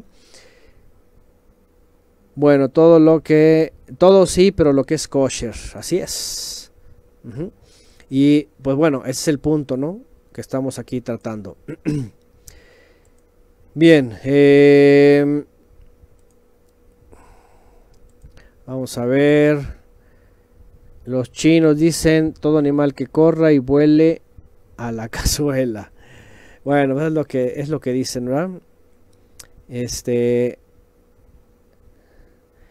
voy a al 911. Vean lo que dice aquí. Bueno, dice, y habló Elohim a Noah y a sus hijos con él diciendo, aquí yo establezco mi pacto con vosotros y con vuestros descendientes después de vosotros y con todo ser viviente que está con vosotros, aves, animales, toda vez de la tierra, vosotros, los que salieron del arca, hasta todo animal de la tierra. Estableceré mi pacto con ustedes y no exterminará ya más toda carne que... Aquí es el texto clave que ya les había dicho antes. Estableceré, hasta le pusieron el 911, ¿va? Yo no sé esto si aquellos que hicieron las las numeraciones y todo lo demás, hasta parece medio raro, estableceré mi pacto con ustedes y no exterminaré ya más toda carne con aguas de diluvio. Ni habrá más diluvio para destruir la tierra con las aguas. Esas las aguas, fluir de aguas. Lo que está diciendo aquí está codificado. ¿Quién lo viene a, decodificar? El Mesías. Porque él enseñó, ¿verdad? Que la tierra pasará y la tierra será destruida. Dejará de existir y los apóstoles lo enseñaron. Bueno, así que por eso hace referencia, no lo haré más con aguas del diluvio, de la inundación del fluir. 12 y dijo el Todopoderoso, esta es la señal del pacto que yo establezco entre mí y ustedes y todo ser viviente que está con ustedes por siglos perpetuos. Mi arco he puesto en las nubes, el cual será por señal del pacto entre mí y la tierra este famoso barco que ya también hablamos al principio. Obviamente tiene su explicación científica, no es una cosa de que, ay, de pronto salió y ahí está, qué bonito. Y luego vienen aquellos otros, ¿verdad? Destrampados y que el orgullo y de veras es, es una eh, aberración, corrupción mental, emocional. Pobres personas con muchos efectos, ¿verdad? De la sociedad, de sus familias, de la gente, de sus violadores, de mil cosas que viven, una sociedad enferma, ¿verdad? Sin palabras, sin instrucción, y agarran los colores del arco y para su propia condenación lo usan. Y el Eterno lo hace como un símbolo de misericordia por eso estos locos vienen y lo agarran y dicen, ay, pues libertad, ya no vamos a ser destruidos, ya nos, nos dio libertad. Ajá. Porque no han leído, no han leído que ya no va a ser con aguas. Y aquí no importa, y ahí va, escúcheme bien, aquí no importa si ya murieron muchos de estos desde Sodoma y Gomorra. ¿Por qué? Porque Yeshua también viene a revelar sobre el valle de los hijos de Geinón o de Ginom, ¿se acuerdan? Ahora recientemente tuvimos también ahí con los converos esa entrega, espero que lo hayan escuchado. ¿Existe el infierno, sí o no? El infermus, que está enfermo, ¿verdad? Teológicamente hablando y que ponen en nuestras Biblias, es de origen, es de origen eh, este, eh, religioso, ajá, este, mitológico y tiene que ver con el inframundo de los sumerios y de los griegos y de los egipcios y se están ahí quemando todo el tiempo. Bueno, La Biblia no dice eso, la Biblia dice el Sheol. Todas las almas se van a dormir. Pero cuando venga el Mesías, haciendo alusión al valle de los hijos de Ginom, un tiradero que, se, que ardía todo el tiempo, que todo el tiempo humeaba, es un lugar de destrucción. Yeshua fue el que vino a revelar ese lugar, es un lugar real en el futuro para juzgar a la tierra y todo va a ser consumido. Aquí viene otra vez a a completarse esa enseñanza del Mesías. Van a arder en el fuego Satanás y sus ángeles caídos, toda la maldad, y a todos aquellos que le sirven, mentira, engaño, religión, todo, todo esto, y todos los pecados obviamente que existen. Ahí será el juicio. ¿sí? Yeshua dice que va a ser hasta el fin. Y primero los va a levantar. Ahí es donde dice, teman al que puede destruir en el fuego, está refiriendo a ese Mabul de fuego que va a venir en el futuro y que, escúcheme bien, no tiene solamente la capacidad como la lava de derretir la materia. Este fuego, dice el Mesías, que lo hizo el Padre con la capacidad de destruir el alma en el fuego. Es decir, este diminuta tierra se va a convertir en un pequeño sol que se va a derretir y que el Eterno lo va a usar para destruir también las almas. Eso lo dijo el Mesías. Aquí abajo dice, es el lugar de destrucción. ¿Qué les parece? ¿Qué es lo que estoy diciendo? Que lo que está diciendo Yeshua es lo mismo que estamos viendo en las escrituras. Ocurrió un Mabul de aguas por la maldad, la multiplicidad en mal y en peor y todo lo que ya sabemos, están contados los días de la tierra, de la humanidad. El Mesías va a regresar y cuando regresa va a despertar incluso los que duermen, va a venir el juicio y este lugar se tiene la capacidad de destruir alma y cuerpo, lo dijo él. Teman al que puede destruir en el fuego alma y cuerpo. Bueno, aquí ya vimos, ¿verdad?, sobre la señal y sobre esto. Lástima porque ni siquiera podemos hacer uso con la libertad y lamentablemente porque igual tampoco esto ya no significa nada. Ahora nuestra arca es el Mesías. Ahora la señal es la presencia divina, no ocupamos de colores porque también luego después vienen los, los teólogos, ¿verdad? Los filósofos y nuevaeristas y empiezan que el arco iris y que los colores y que este significa esto y que salen que con el amor y que salen con no sé qué y las cualidades, ya saben, eh, porque eh, estos pensadores filósofos le encuentran a todo, ¿no? Que los colores del arco y que no sé qué, ah, bien romántico, ¿verdad? Bien, todo esto, bueno, eso es, eso está ahora sí que para el hombre. ¿Cuál es la señal que ha puesto el Todopoderoso, su aliento santo en nosotros? ¿Cuál es el arca? Es el Mesías. El Mesías es el arca, es el lugar de refugio. Él es la puerta que abre y nadie cierra. Él es la puerta que cierra y nadie abre. Mientras estemos con Él y tengamos el sello que Él ha puesto, estamos refugiados en Él.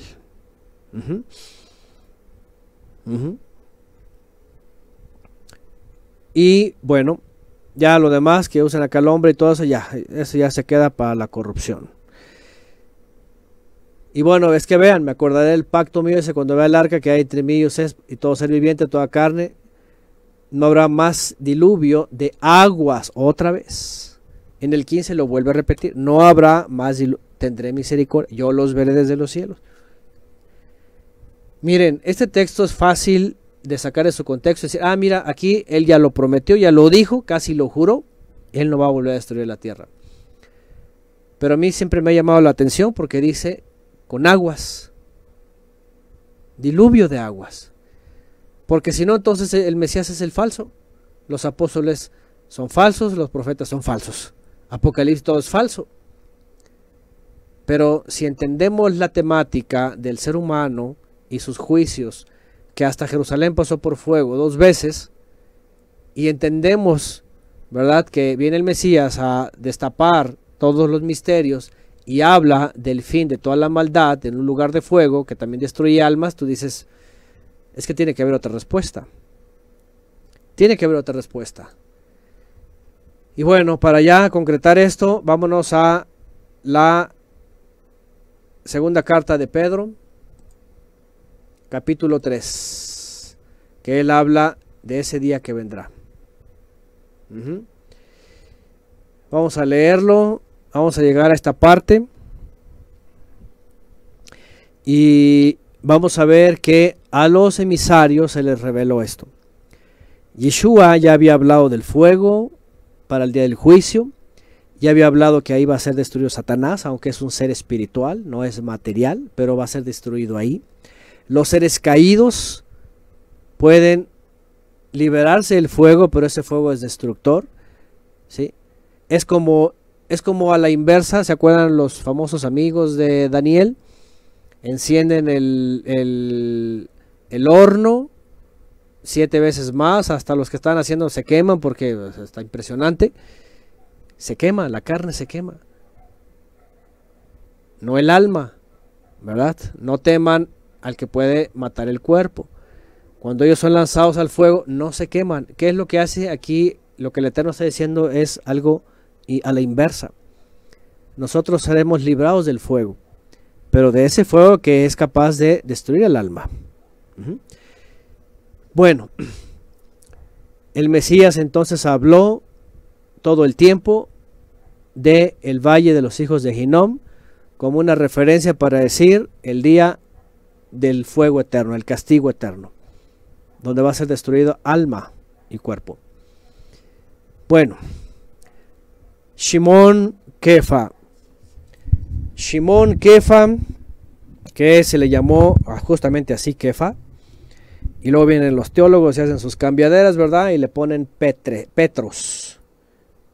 Y de Petros viene el Pedrito, ¿verdad? Y ahí está Pedro, que, que bueno, ya vienen los católicos y eh, el primer papa y San Pedro, ¿verdad? Y la basílica y ahí están los papas. Ah, ¿Qué podemos hacer con esas religiones, verdad? Van a ser destruidas todas en el fuego también. En fin, Shimon Kefa empieza a escribir, dice, ya es la segunda que les escribo en la cual despierto con exhortación su limpio entendimiento, les recuerdo las cosas dichas antes, ¿verdad? El mandamiento del Adón y Salvador, proclamando, proclamado por sus emisarios, conociendo primero esto, que en los últimos días vendrán burladores andando de sus propias concupiscencias. ¿Dónde está la promesa de su advenimiento? Ya saben, las burlas. Y es que Kefa posiblemente hablaba de sus épocas o, al final de sus días de ellos, pero aquí ya entendemos por qué se burlan, porque ha pasado todo este tiempo y mucha gente dice, ¿dónde está eso? ¿Dónde está? No es cierto. Pues desde que durmieron los padres todo permanece igual desde el principio de la creación. Y vean que esos incrédulos conocen la Biblia porque dice desde que murieron los padres, así que desde murieron los antepasados. Ellos ignoran voluntariamente que el tiempo antiguo, y aquí viene algo, escuchen bien, porque vienen los alegoristas y dicen, ah, esto está hablando de la alegoría, aquí no puede, aquí está hablando del fuego, del juicio, del castigo, que, que los malos, que no sé qué, espérame. Aquí va a empezar a hablar Kefa algo interesante. Dice, ellos ignoran voluntariamente que en el tiempo antiguo fueron hechos por la palabra, la davar, ¿Se acuerdan? Bayomer Elohim y dijo Elohim, fue hecho. Los cielos y la tierra. Es decir, no son eternos. Número uno, Shimon Kefa está diciendo, fueron creados. No han estado siempre aquí, no son eternos, ni van a permanecer siempre aquí. Sino que Bayomer Elohim, cuando dijo Elohim, cielos y tierra fueron creados. Y dice, y que proviene del agua, la tierra, y por el agua subsiste. A mí esto se me hace maravilloso porque dice que emerge de las aguas, como ya lo vimos, y que a través de las aguas subsiste. Es lo que andan todos estos, ¿verdad? Este, ¿cómo les puedes llamar? Incapacitados, tratando de buscar agua en algún lugar de lo poco que conocen. Y para todo es una buena noticia. Agua, agua, algo húmedo, algo frío, algo, un hielito, algo, pero que sea agua la luna, en Marte, Júpiter, yo no sé hasta dónde pueden llegar o no sé qué hacen, ¿verdad? Pero agua. O sea, la necedad. No estás viendo todo el agua que tienes aquí por las cantidades y por la forma de tenerla. Y tú andas buscando una gotita en Júpiter. Ya nomás por eso, ay, encontramos un no sé qué, una zona ah, gélida y que aquí resulta que pudo, haber ocurrido que aquí había agua y salen con un montón de inventos. Bueno, lo más interesante es de que el Eterno, dice aquí Kefa, tiene su plan y aquí todo esto encerrado en todo lo que vemos es su plan. Oxígeno, agua, la tierra, el fuego, todo. Esto que después hasta pasó a idolatría, que los cuatro elementos, que no sé qué, que, ¿verdad? Y vienen los cultos al fuego y todo. Y ahí ya el hombre apenas sabe un poquito de ciencia y se despedazó ya ahí ya con sus conocimientos, Bueno, por las cuales el mundo entonces pereció inundado en agua. Kefa está hablando la misma Torah que Yeshua mencionó, que esa agua el Eterno la usó, si es vida, también la usó para juicio, inundando la tierra para castigar a aquella generación. Y dice en el 7, pero los cielos y la tierra que ahora quedan, vean, reservados por la misma palabra, guardados para el fuego en el día del juicio y de la perdición de los impíos. Y aquí Kefa ya le da un giro y empieza a decir, ok, hubo un diluvio, fue, hubo una inundación, todo fue un juicio, etc. Pero esta tierra y estos cielos que por la misma palabra están reservados ahora, los vemos, estamos, vivimos, dice, están guardados para el día del juicio, para el fuego. Amados hermanos, dice, no ignoren esto, que para el Adón un día es como mil años y mil años como un día. Él no retarda su promesa como algunos consideran por que es tardanza, sino que es paciente hacia ustedes, no queriendo que ninguno perezca, sino que todos procedan a hacer teshuva. El motivo de la tardanza, vean nada más. A ver si estos necios regresan. Pero el día del Adón vendrá como ladrón, es decir, nadie sabe, va a venir de sorpresa, en el cual los cielos desaparecerán, va a haber un...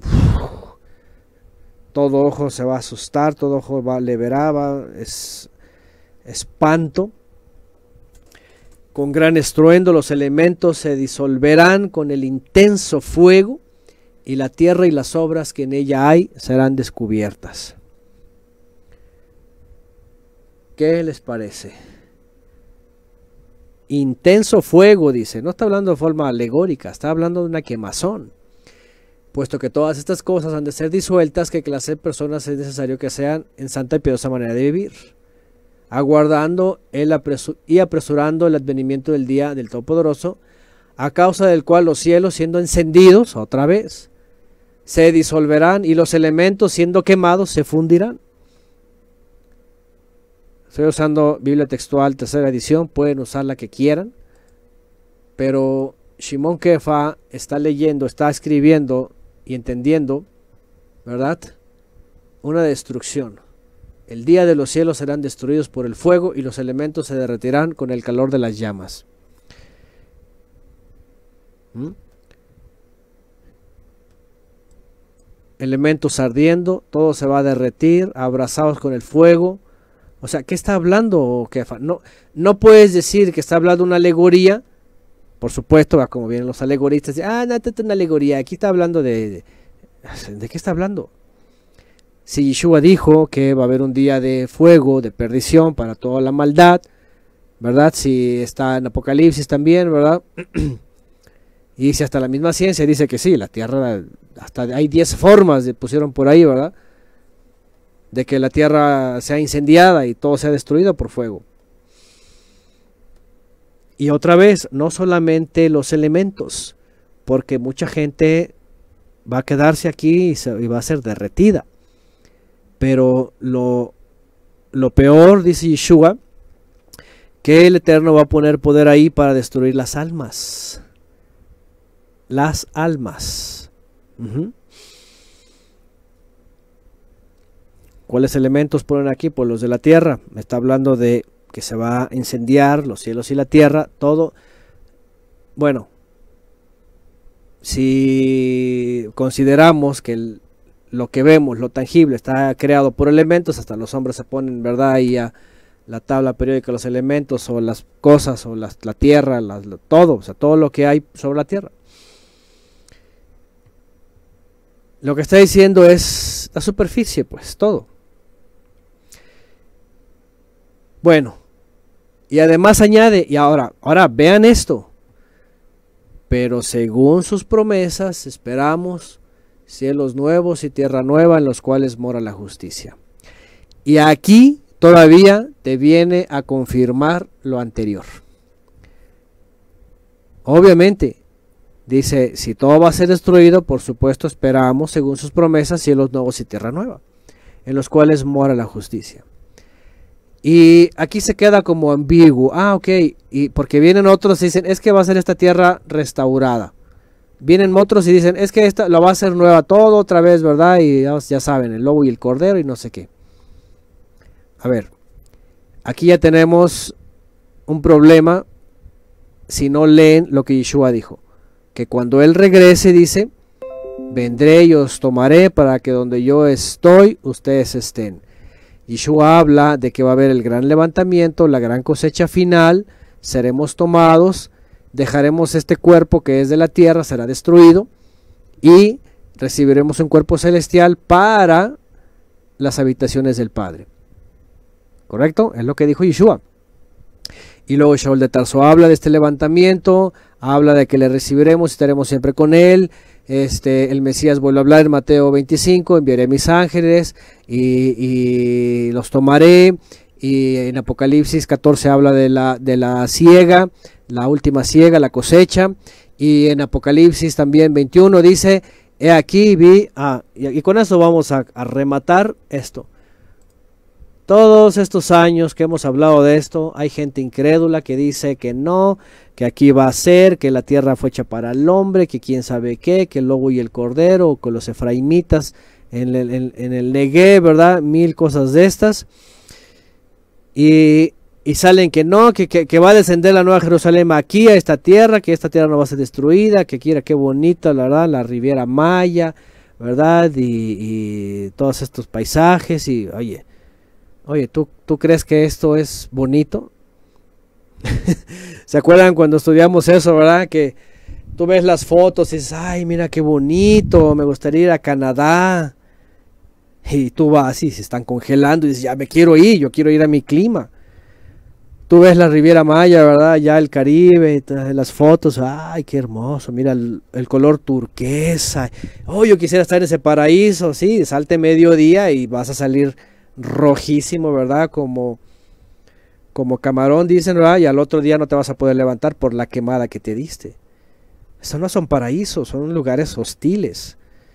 Claro, hoy día ya venden esas cremas que te echas, ¿verdad? Cancerígenas y te llenas de todo. ¿eh? Bueno, ya también hay, hay ecológicas, y, pero tienes que ponerte algo porque tú no vas a esos lugares y, ay, qué bonita playa, ¿verdad? Y te, te quemas. No vas a Canadá a disfrutar el paisaje, estás temblando de frío. No vas a las dunas del desierto y te pones a caminar y te mueres de hambre y de insolación. Eso, eso realmente se ve bonito en las fotos, pero es un lugar hostil. Por el pecado este lugar se convirtió en un lugar de muerte.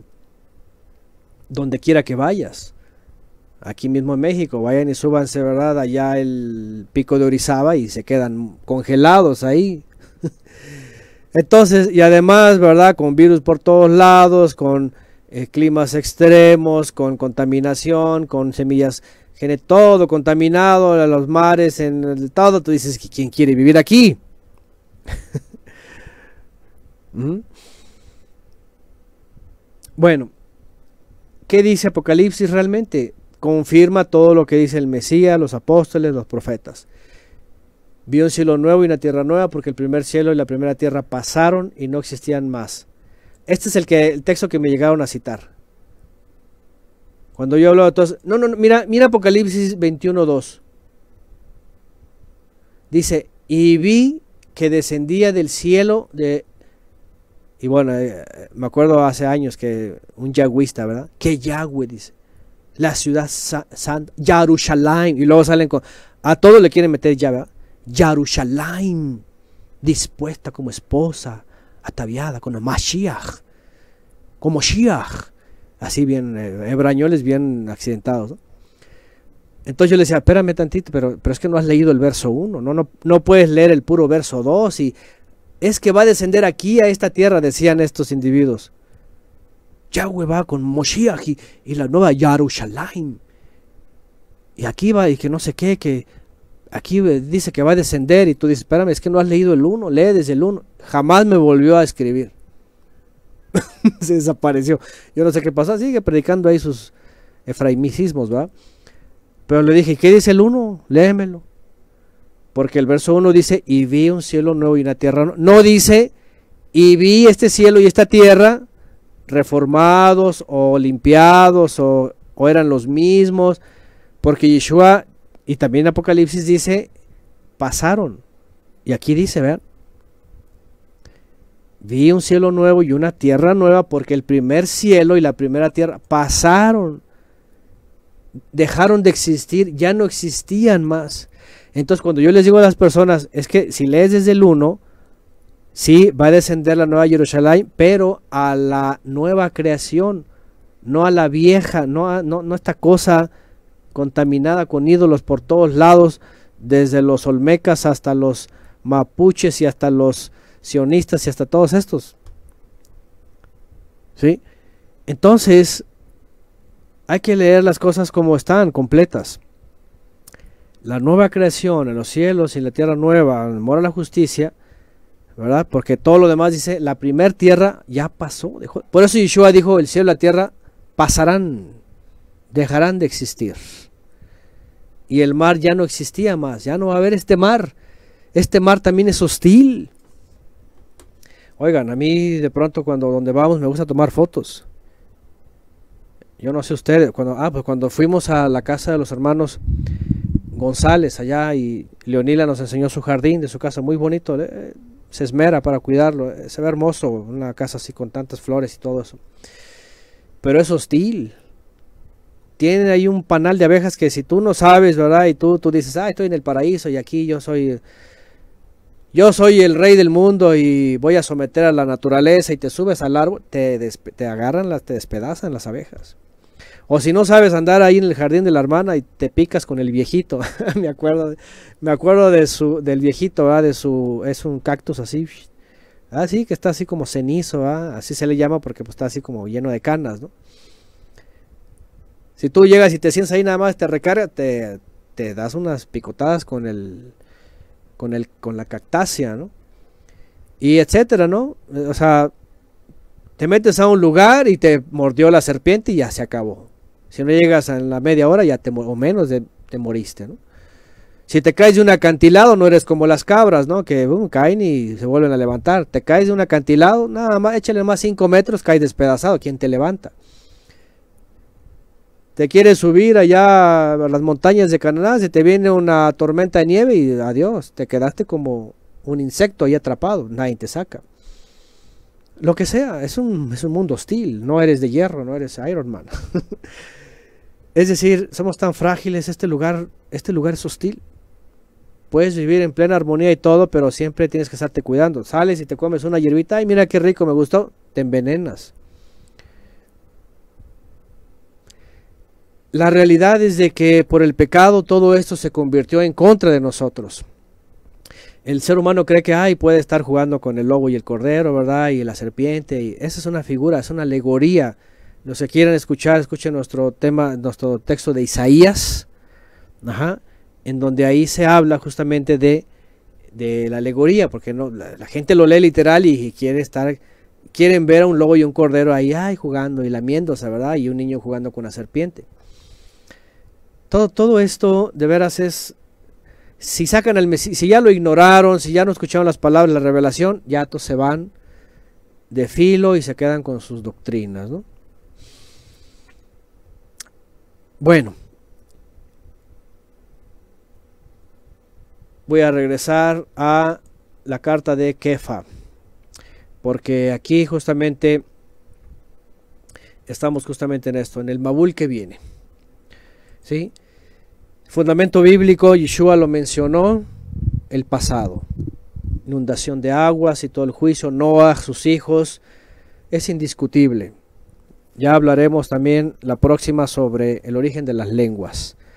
¿ah? Porque también hay otra cosa ahí que, ¿dónde, dónde, dónde comenzaron los idiomas? ¿no? Es una cosa que, es una cosa que la, ciencia yo no sé, pero yo me acuerdo cosas que la ciencia no puede explicar.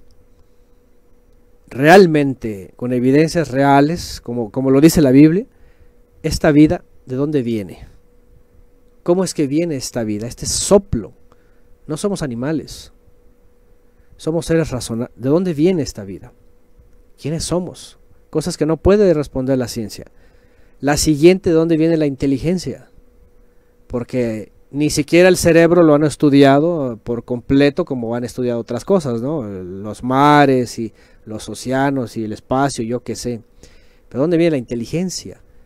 De lo cual también vienen las capacidades del lenguaje. ¿Dónde viene el lenguaje? tú dices, oye, ¿cómo, ¿cómo el Eterno puso ese software en aquella ocasión y los confundió? no Nadie se entendía, pero ahí vienen los lenguajes articulados y luego vienen un montón de dialectos, idiomas, etcétera. Claro, van creciendo y todo, pero son cosas que la Biblia nos responde. Pues la ciencia puede tener sus hipótesis, pero no hay una cosa que te diga, aquí comenzaron los idiomas. De hecho, los que van a investigar los idiomas se van directamente a las épocas justamente y a los lugares en donde la Biblia habla de la Torre de Babel. Qué interesante. Hace muchos, mucho tiempo, hace muchas revistas. Me acuerdo que cuando era chico mi papá le gustaba esas de ciencia, ¿verdad? Una que era muy interesante, ya dije el nombre, no quiero hacer propaganda, pero... Y ahí venía una Torre de Babel, ¿verdad? Y el origen del lenguaje y ahí sus, resoluciones eran que pues los, investigadores pues habían dado con que ahí comenzó en esa región y en esas épocas los primeros idiomas. Entonces, lo que básicamente estaban diciendo es, la Biblia tiene razón. La Biblia tiene razón, pues ahí surgieron. Bueno, ya llegará su momento, ¿no? Pero a lo que voy, pues es todo esto, ¿no? Al final, todo se va a acabar y todo va a volver. vean nada más qué interesante, todo va a volver de regreso. Todavía existe Babilonia, ¿eh? confusión. Todavía existe idiomas, no se ha roto todo eso. ¿Mm? Ah, por aquí alguien está preguntando sobre el infierno. Este, eh, aquí en el canal Bob, aquí Bob Sander está preguntando. aquí en nuestro canal ve a, los videos y es el que dimos hace unos días. No, hace una semana Ahí está, infierno, está en signos de terror. Por favor, escuche ese, ese comentario. Bueno, estaba con... ¿Con qué estaba? No, ya estaba terminando, ¿ah? Pero bueno, el punto acá es de que... Eh, dicen por acá, pero no entender por qué dice vi cielos nuevos y tierra... Porque vi cielos nuevos y tierra nueva. Ah, no entendí por qué dice... Ah, ah porque eh, no, no expliqué eso, lo dije en, el libro de visiones. Pueden estudiar el libro de visiones, Isayón, pues se llaman visiones, que el Eterno le está mostrando en visiones la, toda la revelación, o, bueno, todos los acontecimientos. Entonces, ¿por qué dice vi? Porque era algo que estaba reservado. Yohanan estaba viendo los acontecimientos que iban a pasar por los siguientes dos mil años. Entonces, por eso dice vi y lo que vio es una nueva creación. Bueno, ah, y para concluir, para concluir, eh, sabemos definitivamente nuestra generación, como ya lo hemos estudiado antes, están, están dos entregas, ¿verdad? De como en los días de Noah, como los días de Noé, están ahí en YouTube, en nuestro canal. Pueden buscarlos como en los días de Noé. Ahí hablamos de las características en detalle, pero eh, para terminar, cerro con esta, este comentario rápido. Finalmente, este tema, este fundamento bíblico, que aunque vamos por Génesis y lo mencionamos allá, automáticamente me trae acá. No quiero omitirlo, ya me estoy adelantando, ¿verdad? Cuatro mil años de historia desde No, tres mil años de historia, desde el diluvio hasta, hasta Kefa. Pero es muy importante de una vez vincularlo y hablar de él porque de aquí que lleguemos allá, espero que esto sirva para muchos porque de verdad me entristece ver un montón de gente que ha salido de las iglesias, supuestamente para salir de Roma, pero se meten, ¿verdad?, al judaísmo, a las tradiciones, al Talmud, a todo, al sionismo. Y, y esto lo empiezan a ridiculizar. No sé por qué, yo creo que se le engañó justamente a Satanás, ¿no? de la religión. Y de pronto todas esas cosas, como ya les metieron en la cabeza, que la amada casa de Judá, que el hermano mayor, que todas estas, la amada casa de Yahudá, los yahwistas, vaya, saben todo, idolatrando todo esto, vistiéndose de pingüinos y todo. Ahora, todo esto que, que la revelación y que la vestimenta de pura y que Kadosh y que puras barrabasadas, yo no sé qué les pasa, nunca en la Biblia se ordena vestirse de luto y andar con, ¿verdad? Como Santa Claus y con cosas de estas, de veras, es vergonzoso, pero lo que estoy diciendo es cómo les han engañado que la amada casa de Judá o que los judíos o que el hermano mayor y que vamos al Negev y que orar y que la paz y que todas estas cosas, ¿verdad? Les han metido un software anti-Yeshua creyendo que lo que va a pasar es de que va a venir el Mesías y se va a meter a una sinagoga ahí con los judíos, van a creer y entonces ya viene el templo, la, la, la vaca la sana, ¿verdad? Este, ¿cómo se llama? Golá, no sé cómo se llama, una vaca que estaba en Texas hace, hace quién sabe cuántos años. La, vaca roja, dice mi esposa. ¿Y qué pasó con la vaca rosa? La, la, vaca roja de hace décadas que ya estaba para el templo y quién sabe, ya se la han de haber cenado, yo creo que la han de haber hecho, ¿verdad? Este, birria, algo. Pobre vaca que estaba esperando. Ya tenían una vaca hace como 30 años. La vaca roja, la saque ya que para el templo, que no sé qué. Quién sabe que ya se la han de ver. ¿Verdad? Ya la han de venido, vendido ahí para unos, unas birrias. que Cómansela, que están ahí. La vaca roja y que no sé qué. Puras, de veras. Entonces, este. Eh, pero a muchos les han metido todo este engaño de que están esperando que la casa de Judá y que no sé qué, que tomen la tierra, ya saben el problema ahorita ya, ¿verdad? Con los radicales y los pleitos que se traen, los intereses gubernamentales, todo, todo te relaja una locura. Y este, pero les han quitado las promesas de Yeshua, que son cielos nuevos y tierra nueva, que es su retorno y una redención celestial y ser transformados, cuerpos nuevos, y la nueva Jerusalén en la presencia del Eterno y que todo esto va a ser destruido. Bueno, lo está diciendo el Mesías, no lo estoy diciendo yo. Se lo reveló el Mesías a Pedro, está en Apocalipsis. Este es el punto. Pues, no es una cosa de nosotros o mía o de alguien, no es de Pedro. Eso es algo que el Mesías enseñó y dijo que va a ocurrir. El fuego de destrucción, del juicio. Y está dicho por boca del Mesías, está reservado en Génesis, Pedro lo está diciendo y Pedro lo vuelve a repetir, Kefa. Entonces, con esto cierro. Fundamento bíblico, no solamente que hubo un diluvio, no importando si alguien venga y que, quién sabe qué, que si fue o no fue. Este, ya se me olvidó poner este letrero, una tierra con caducidad, por cierto. La vaca loca, la vaca loca, dice Franco la vaca loca. La vaca loca, la vaca roja, Este, no tiene cabeza, ni cola. Ahora sí que no tiene ni cabeza ni cola, no tiene ni forma. Bueno, eh, una tierra con caducidad. Ya, cerramos con eso. ¿Por qué una tierra con caducidad?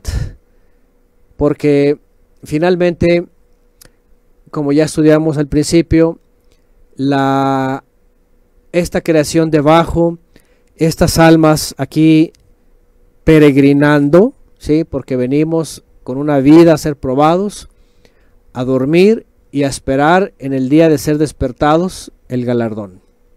¿Sí? Eh, todos podemos ir a dormir confiados, pero no importa si estés confiado o no. Mucha gente duerme confiada, ay, sí me voy.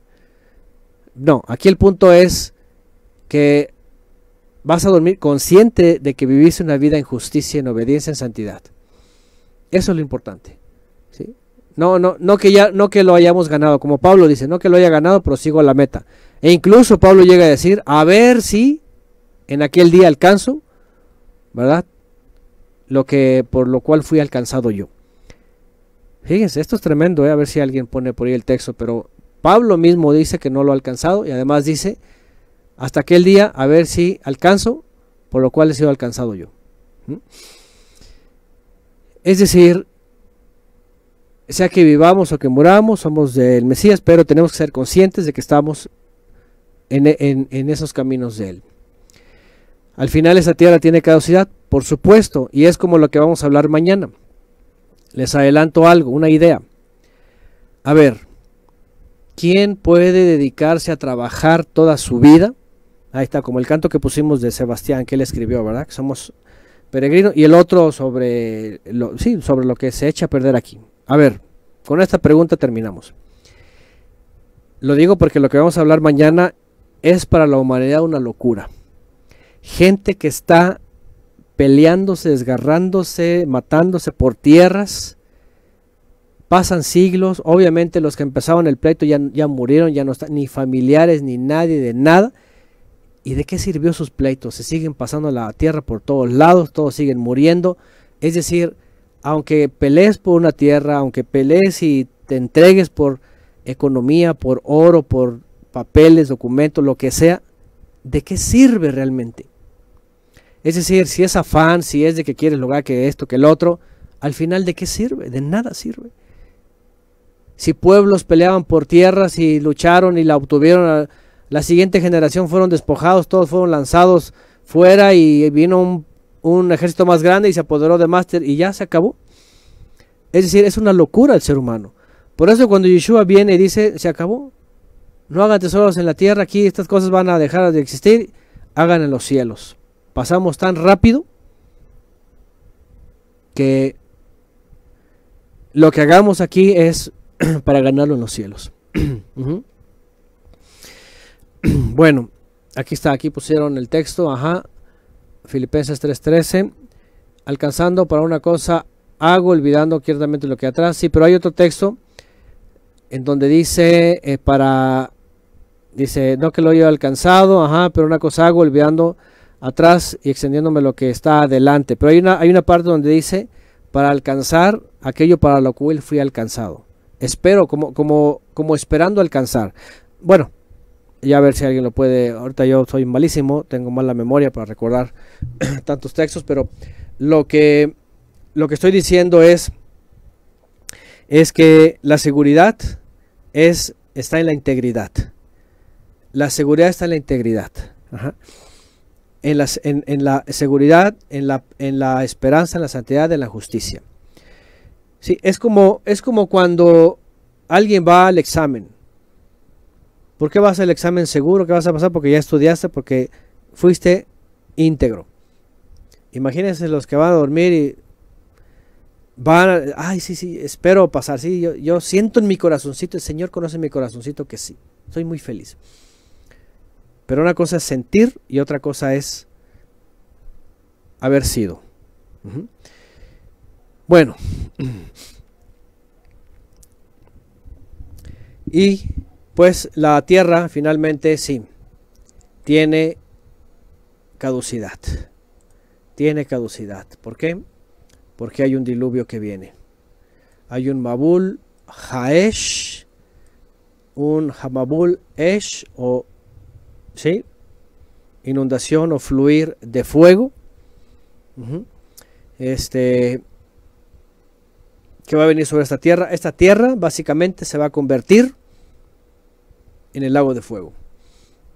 Así como el valle de los hijos de Ginón, que en algún momento fue de Israel y por causa de la idolatría se convirtió, y aquí está la clave, ese lugar se convirtió en idolatría de Israel. Esta tierra se ha convertido en idolatría de todas las naciones.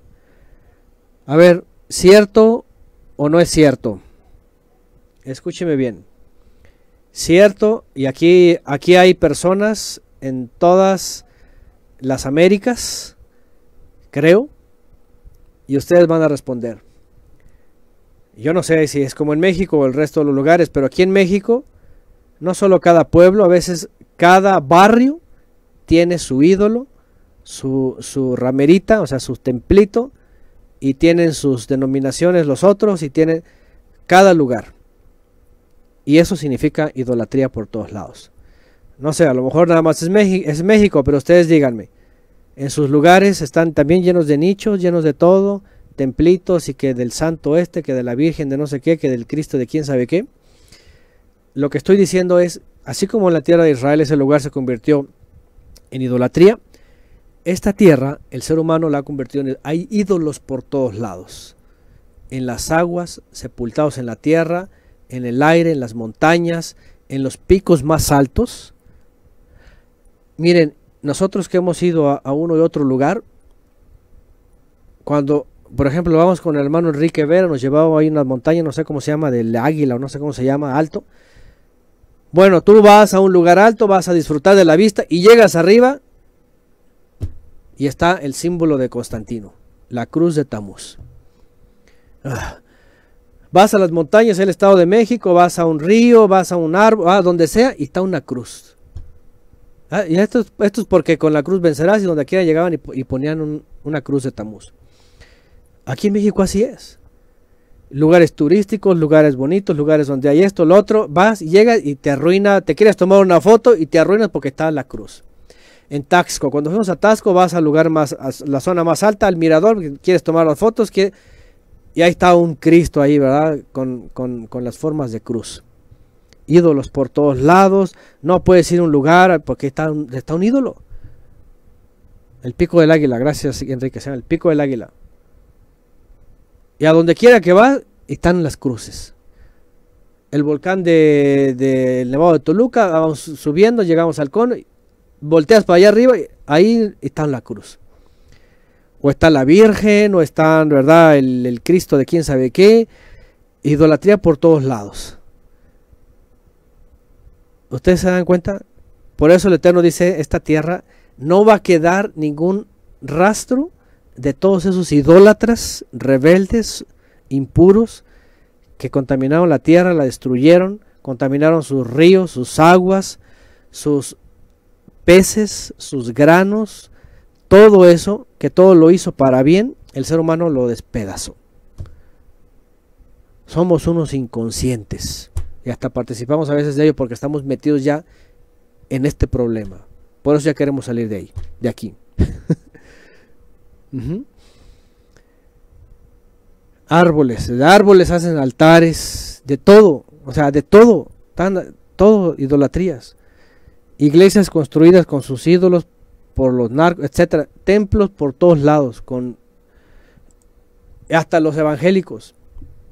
Entras con los evangélicos, tienen símbolos masones, tienen cruces, tienen peces, tienen estrellas de Moloch, de esas de disque de David, pisos cuadriculados, tienen este eh, un montón de, símbolos y ni tiene idea y pura idolatría.